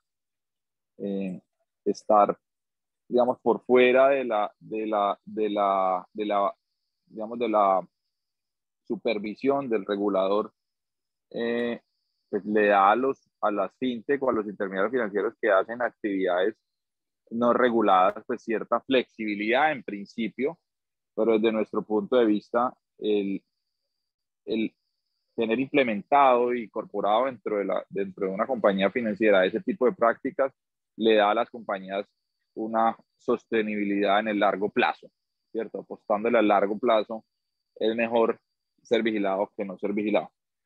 Eh, eso como primer, como punto de partida, como desde que constituimos la compañía, hemos tenido como visión de largo plazo poder ser un jugador financiero regulado en Colombia, lo cual esperamos lograrlo prontamente. Eh, lo segundo es, en, en, ese modelo de relacionamiento con las instituciones financieras, pues ahí hemos tenido de todo y dependiendo de la etapa de crecimiento en la que hemos, eh, de las que hemos pasado, nosotros Empezamos hace, como empresa formal hace cuatro años. Eh, cuando la compañía estaba empezando y era, y era un prototipo, pues rompimos unos hitos importantes, porque por ejemplo cuando fuimos a conseguir nuestros primeros mecanismos de fondeo, ¿cierto? Nos acercamos, por ejemplo, a, a Bancoldex y, y, la primera respuesta a Bancoldex fue, nosotros como banco de segundo piso fondeamos y hacemos operaciones de redescuento con bancos, con instituciones financieras, establecimientos de crédito regulados o con microfinancieras. Y usted no es ni lo uno ni lo otro, ¿cierto? Entonces, usted es una sociedad anónima, eh, que está para las pymes, no, no, es una sociedad de nicho, microfinanzas, pero luego de mostrarle el modelo y, y, y, el impacto que esto tenía y el, digamos que se estaba teniendo un segmento desatendido del mercado y, y Bancolde entendiendo desde su rol de banco de desarrollo eh, lo que podía aportar para que un modelo de estos se generara, pues nos decidió dejar un cupo en el año 2018 eh, para empezar y, logramos ser, digamos, la primera fintech que tuviera ese, ese mecanismo de fondeo directo por parte de Bancolde. Lo mismo nos sucedió con el Fondo Nacional de Garantías, que ha sido un aliado importantísimo en el desarrollo y escalamiento de Financiva, donde el Fondo Nacional de Garantías, que tradicionalmente trabajaba también con bancos y microfinancieras, pues entendió que a través de canales digitales como las fintech, usando nosotros diferentes metodologías diferentes para el análisis y otorgamiento de crédito y para la administración de la cartera, pues podía podíamos ser un canal interesante para llegar a un mercado que tradicionalmente había estado subatendido o desatendido por la banca tradicional. Entonces, con el, con el, con el FNG, pues hemos tenido también una eh, relación extraordinaria eh, que ha venido creciendo en estos años. Con la banca comercial, el relacionamiento fue diferente, porque en la banca comercial, paradójicamente, en, estoy hablando hace cuatro o cinco años, veía la fintech más como como, como un jugador nuevo, que, está, que estaban, jugadores nuevos que estaban llegando en las diferentes verticales de negocio donde, donde, donde juega un banco. Los bancos de Colombia, al ser bancos universales, pues juegan en todos los segmentos, con todos los productos, a excepción de, de, algunos bancos que lo están haciendo de manera extraordinaria, como, como Finandina, que ha tenido más un nicho y ha venido escalando a nuevos segmentos. Pero si vas a ver el resto de intermediarios financieros en el mercado colombiano, que es un mercado oligopólico donde tres grupos concentran el, eh, cerca del 80% del mercado. Eh, pues juegan en todos los segmentos. Entonces, cuando los bancos comenzaron a, a recibir la primera hora de, la, de, las fintech hace cinco, cuatro años, vamos que la, la, la, reacción que tuvieron los bancos fue como, yo, yo quisiera que usted fuera mi proveedor, présteme un servicio digital para yo solucionar un problemita que tengo acá, pero no nos veían como un potencial aliado, no nos veían como, como, como eh, digamos, como alguien que, con el que pudiéramos ir a jugar de tú a tú en un mercado de manera complementaria o de manera colaborativa, ¿cierto? en esa, en esa primera instancia fue muy difícil, en ese primer momento fue muy difícil lograr escalar, conseguir fondeos. Nos enfocamos mucho en conseguir fondeos institucionales a nivel internacional, con bancos de desarrollo europeos, con fondos de deuda que se enfocan en mercados de impacto, en, microfinanzas y, y, y en pymes. Eh, pero en la banca comercial no, no tuvimos buen resultado porque o nos veían como algo como présteme un servicio, como un proveedor más dentro de su cadena de abastecimiento, o como competidores, como muchos bancos nos lo dijeron. Eh, no te presto porque vas a ir a prestarle a, al que yo quiero o vas a ir a prestarle al que yo no le prestaría, entonces vas a asumir un riesgo mayor que el que yo lo hago y, y yo llevo 20, 30, 50 años otorgando crédito y no me vas a decir que tú con tu tecnología que acabas de llegar eh, vas a saber prestar mejor que yo. Los, la experiencia que hemos llevado hasta ahora pues nos ha, nos ha, nos ha dado muy buenos resultados y es, por ejemplo, Finactiva en las operaciones de financiación que ha otorgado, pues nosotros hemos tenido un nivel de calidad de cartera muy bueno.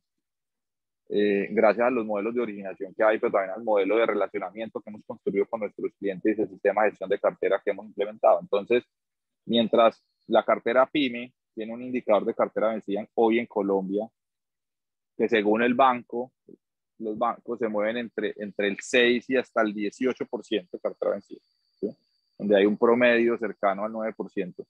Eh, el indicador de cartera vencida finactiva se ha movido entre 2 y 4%. Eh, entonces, cuando los bancos han visto esto, entonces ya, nos van a acercar y nos dicen, oiga, efectivamente su, motor de originación, sus algoritmos, su plataforma, como que funciona, ¿por qué no nos sentamos y hacemos algo? Pero ya en una relación diferente, ¿cierto? Entonces, construyamos un producto, marca compartida, o tengo estos recursos aquí grandísimos, ¿qué hacemos? Eh, o instituciones que nos dicen nos interesa apoyar cierto segmento de las pymes o favorecer con mecanismos blandos ciertos segmentos. Entonces la, la, conversación ha cambiado, la pandemia ayudó mucho, el track record que hemos construido ha ayudado mucho y también los bancos se han dado cuenta que esto no es de, esto no es de competidores, esto es de competidores.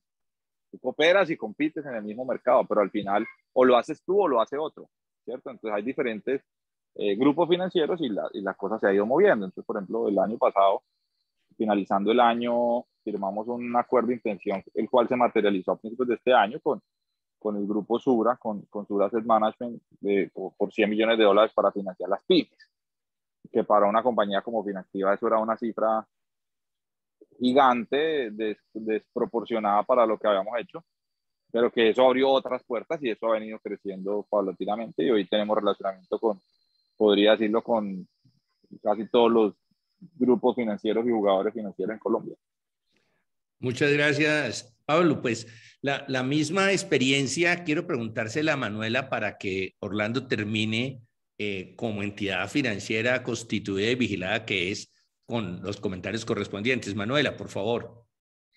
Bueno, nuestra experiencia ha sido muy parecida a, a la de Pablo. Eh, realmente cuando surgimos las fintech y empezamos a, a, a estructurar todas estas plataformas, eh, creo que había una percepción en el mercado y era esa de prestarle servicios a, a los bancos y que nuestros modelos de riesgo eran muy flexibles y realmente ese no es el punto que hoy se entiende sino no es que fueran muy flexibles, era que cumplían con temas de regulación, así no tuviéramos la obligación de hacerlo, pero que nos fuimos a entender el segmento.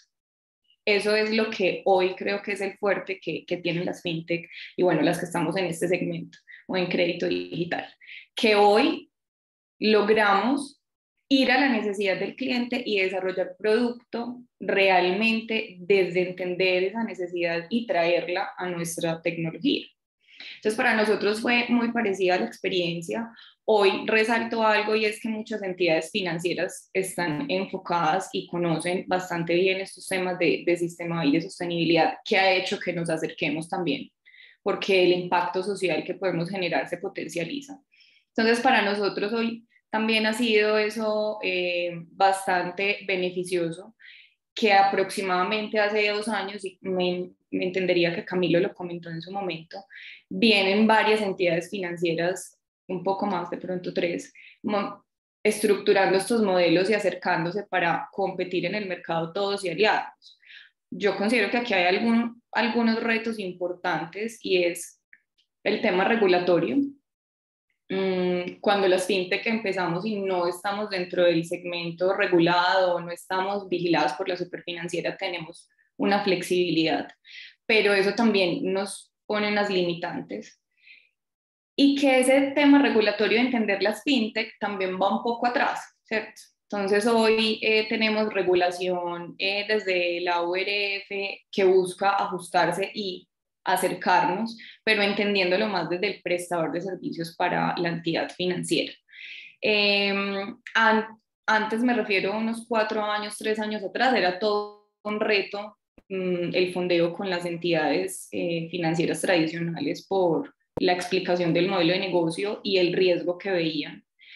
Pero cuando ven que hoy nuestra cartera es, como lo comenta eh, Pablo, mucho, pues mucho más sana de lo que se ve en el segmento, que realmente la plataforma tiene un modelo que entendió el mercado y entendió la necesidad y tiene resultados, porque pues ahorita los exponíamos, la relación ha cambiado mucho. Y que también desde la experiencia que tenemos como entidades o como compañías que desarrollan tecnología, pues vamos un poco más adelante o avanzados en esos servicios que podemos ofrecer y que podemos integrarnos. Esa es nuestra experiencia hasta hoy. Muchísimas gracias, Manuela. Pues antes de, de dar la palabra a las preguntas, quería preguntarle a Orlando como banco que es, ¿cuál es su percepción en esta materia? Yo, yo creo, doctor Luis Fernando, tengo dos aproximaciones. la primera aproximación es una aproximación de tipo legal y es Colombia, digamos, en su historia ha asumido la regulación financiera en torno a la visión de la intermediación. A diferencia de otras geografías que tiene la regulación y supervisión financiera en torno a la actividad financiera. Eso ha venido cambiando y hay, digamos, iniciativas del regulador acerca de incorporar en el marco de supervisión todas las actividades financieras. Eh, hoy, colocar créditos en Colombia no es una actividad regulada y supervisada por la Superintendencia Financiera, a diferencia de geografías cercanas donde cualquier actividad en pro de la protección del consumidor, sobre todo de la protección del consumidor, bien sea que es ahorrador o bien sea que es un, eh, usuario de otros servicios financieros, tiene el, marco de supervisión y regulación que le permite tener esa protección de, consumidor.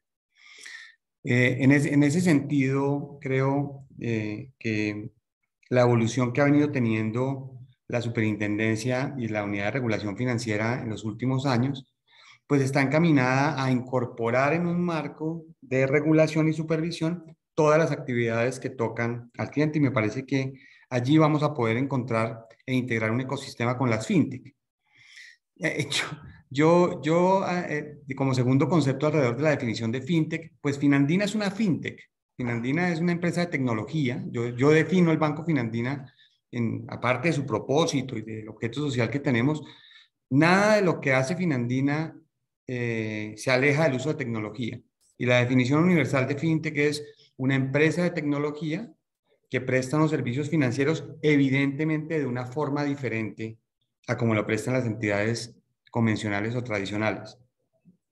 Eh, y probablemente el hecho de que las, las fintech, no solamente las de crédito, estoy hablando de las fintech que hoy nos prestan servicios, yo tengo una aproximación un poco diferente desde, incluso Pablo hablaba hace cinco años, yo he tenido, digamos, múltiples reuniones con, con, con FinTech a lo largo de estos años de colaboración. Evidentemente, la forma en la que estas nuevas entidades, y yo no hablo ni siquiera de la tendencia a las nuevas entidades, hablo de la tendencia a los nuevos seres humanos que piensan que se pueden hacer las cosas de una forma diferente. La incorporación de nuevas tecnologías, nuevo entendimiento de los clientes, nuevos procesos, eh, el uso del Big Data digamos, los datos tenemos una información muy relevante que probablemente producto de la, de la eh, eh, historia o comodidad, llamémoslo como quieran, no le damos el uso que podríamos darle, pero las fintech nos han enseñado eh, a hacer modelos de negocio y estamos integrándola. En el caso nuestro, por ejemplo, tenemos en nuestros procesos dos fintech que nos colaboran de manera muy importante para poder lograr la experiencia digital. En ese sentido, pues yo, creo que el mercado ha aprendido a vivir, a convivir y no solamente a convivir, sino que ya estamos integrando el ecosistema a todos estos nuevos, nuevas formas de hacerlas y digamos como parapeto lo que digo es, Finandina es una empresa de tecnología que presta servicios financieros en el marco de una licencia bancaria en la regulación colombiana. Muchas gracias, Orlando. Eh, en este momento quisiera darle la palabra al profesor Mauricio Vaquero, director del Observatorio del Mercado de Valores eh, de nuestra universidad, que tenía una preocupación que creo que quiere trasladárselas a, ustedes. Adelante, Mauricio. Gracias. una pregunta, tal vez. tengo dos, aprovechando los que, están aquí. Una es, eh, desde la perspectiva de la estructura de la persona jurídica en la que ustedes trabajan, ¿no es cierto?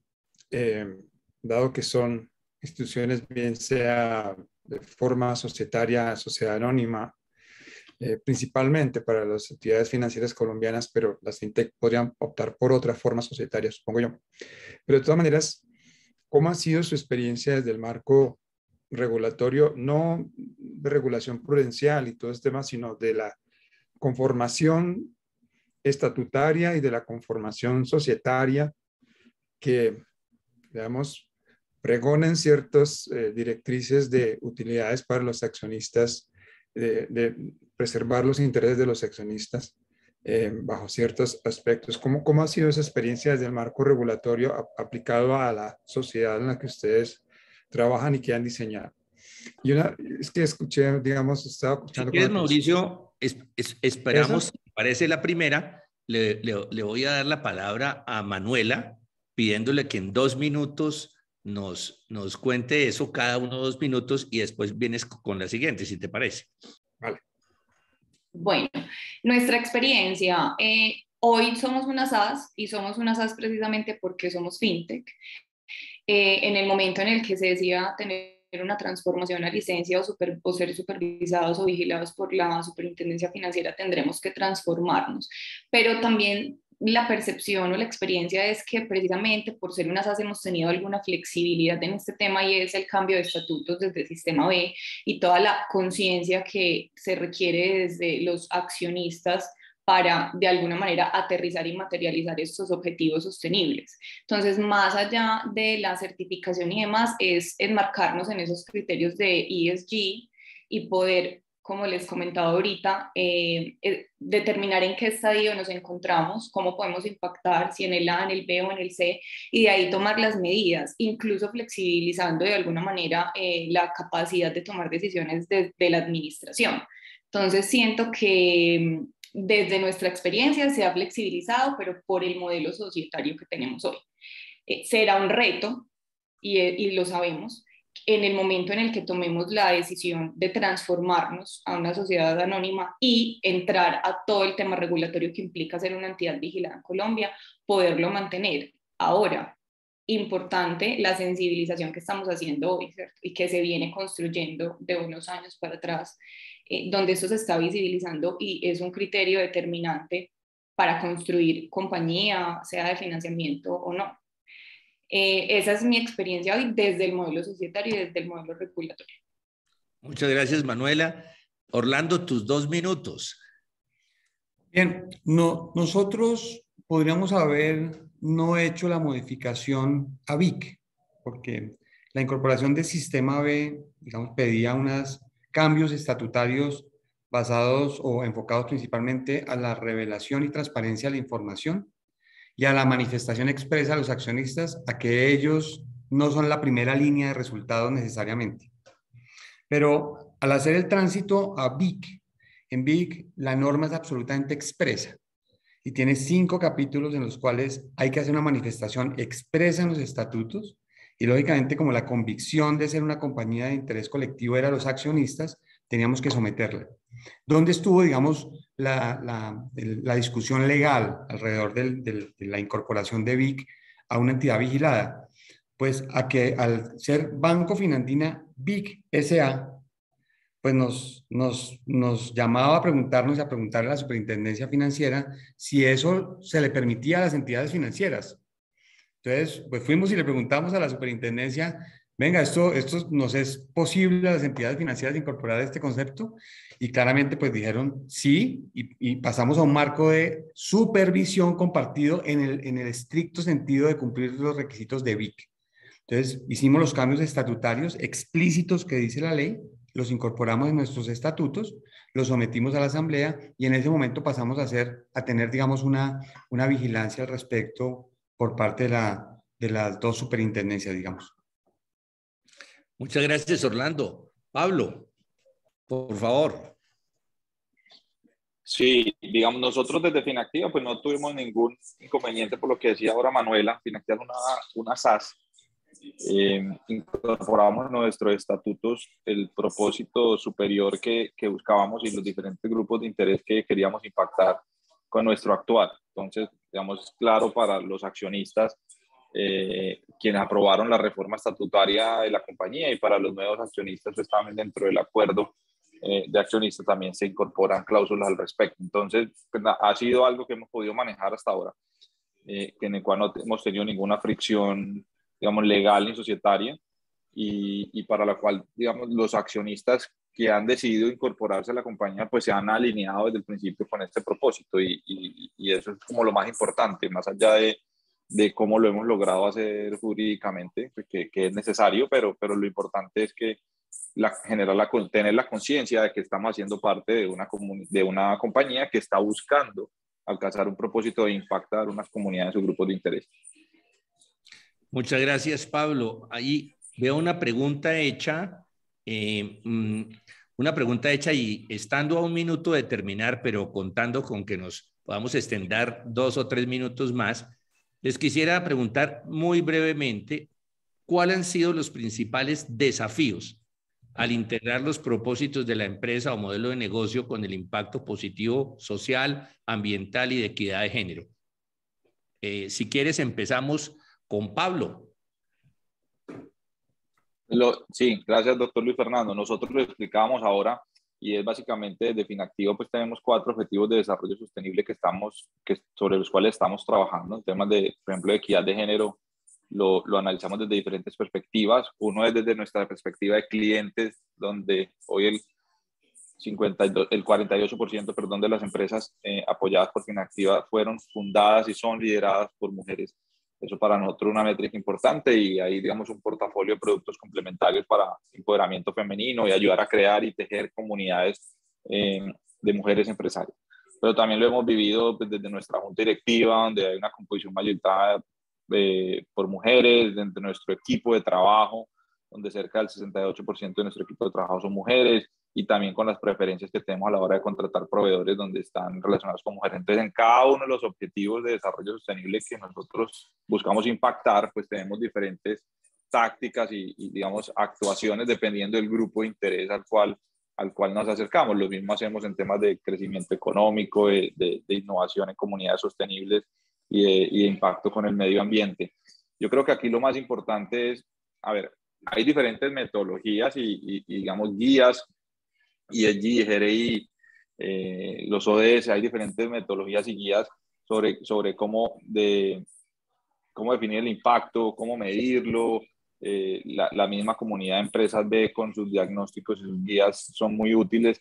Yo creo que esto es algo que se puede implementar en, en, todo tipo de compañías, independiente del sector económico o el tamaño en el que se encuentren, y que lo importante es empezar. O sea, hay, de hecho, nosotros en el pasado hemos desarrollado algunas iniciativas para, para facilitarle a las compañías comenzar a medir su actuación, a ser más conscientes en lo que hacen el día a día, porque muchas compañías lo hacen, eh, lo hacen, pero lo, lo, hacen de manera natural, ¿no? muchas veces no conscientes de, de, de, del impacto que están generando. Entonces, se busca también cómo generar esta conciencia dentro de, dentro de las empresas, dentro de las pymes que nosotros atacamos, y cómo esa conciencia se puede luego ver materializada en, unos, en, en la medición en la, en la creación de unos indicadores, en, en conformar unos sistemas de medición, y, y, luego viene, eso, eso trae, digamos, también nos podría traer unos beneficios para las organizaciones en términos de acceder a fuentes de fondeo más baratas, en términos de, de certificaciones que les dan acceso a ciertas comunidades, o sea, todo esto también al final termina teniendo unos impactos positivos en la organización eh, desde el punto de vista financiero, desde el punto de vista de acceso. Entonces es un gana, en una relación definitivamente gana-gana que los empresarios deben, deben apostar e incorporar en sus organizaciones. Eh, muchísimas gracias, Pablo. Quisiera dar la palabra ahora a Orlando para que terminemos con Manuela sobre esta pregunta sobre desafíos. Orlando. Doctor Luis, yo creo que los, los desafíos, para no repetir los algunos que mencionó Pablo, son, en el caso concreto nuestro, fueron tres. Lo primero, los criterios de selección mover la, la, sede a Chía y restringirle a los equipos de dirección un perfil de contratación fuera del entorno financiero tradicional es todo un desafío. Cuando uno le pide a, al gerente de ciencia de datos que tiene que buscar gente en Chía y Cajicá y tiene que eh, hacer ese proceso de selección, eh, eh, usualmente pues tiende a buscar en otras, en otras geografías mucho más fácil. Entonces los criterios de selección en general de cambiar un modelo tradicional o tener gente, el negocio financiero requiere unas competencias para poder incorporar madres, cabeza de familia, mujeres sin, digamos, sin educación secundaria en los procesos bancarios. ha sido todo un desafío en el proceso de selección, formación y después viene la retención, porque estas personas, la idea es entrenarlas y se abren al mercado financiero convencional. El segundo es eh, la aplicación, y esto pues puede sonar un poco fuerte en el auditorio, y es la generación plena de la transparencia del negocio. Eh, y cuando yo digo plena la transparencia del negocio es, si Manuela es cliente nuestra y se quiere retirar del banco, solo tiene que hacer clic en un botón y se fue y no tiene barreras de, de, de retención, porque nuestro modelo es si quieres estar con nosotros, está con nosotros, si no quieres estar con nosotros, no estés con nosotros. La transparencia de mostrarle el precio que está pagando por sus productos. Entonces, viene la lucha con los líderes tradicionales de mercadeo, por ejemplo, que te dicen, no, Orlando, pero ¿cómo le voy a poner la tasa así de grande al cliente? Pues no la va a prepagar. Pues si la tasa no es la conveniente y el cliente puede acceder a una mejor tasa en el mercado, o, se va o, o yo tengo que reaccionar. Y la tercera es la capacidad de medir. Nosotros las entidades financieras somos unas entidades expertas en medición.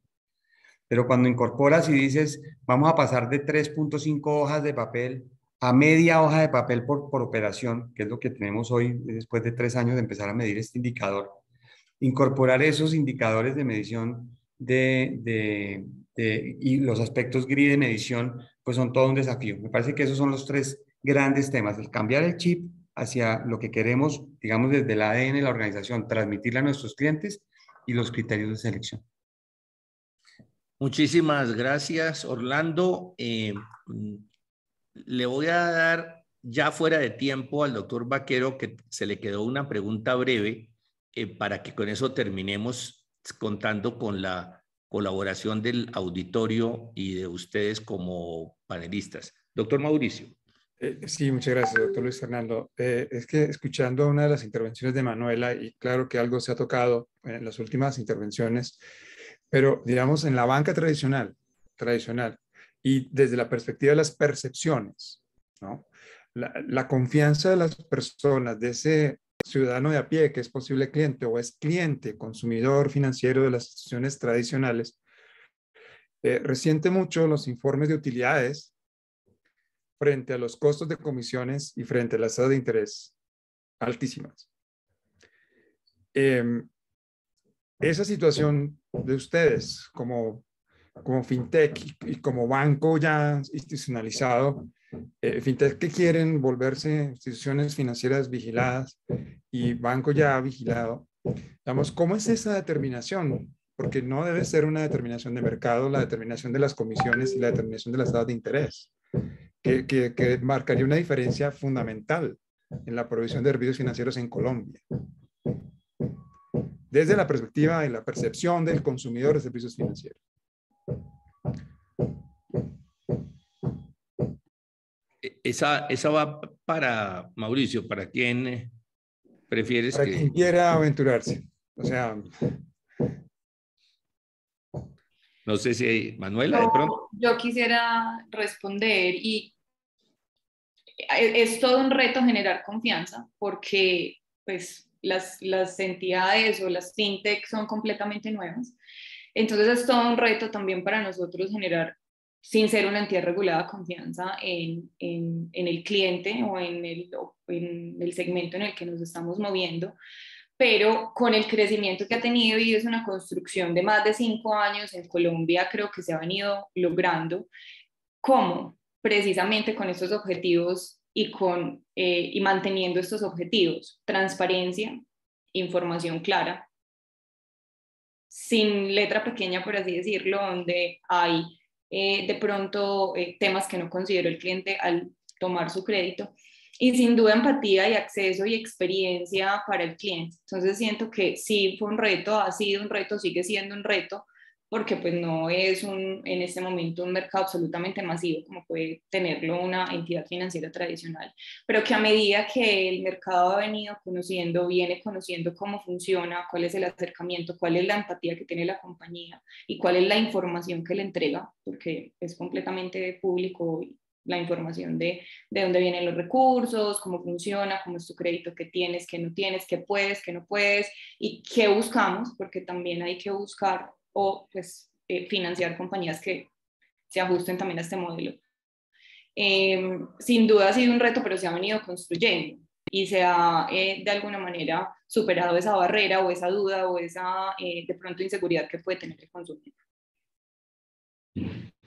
Bueno, pues muchísimas gracias a Manuela, a Pablo, a Orlando, a todos los que nos están acompañando en la mañana de hoy.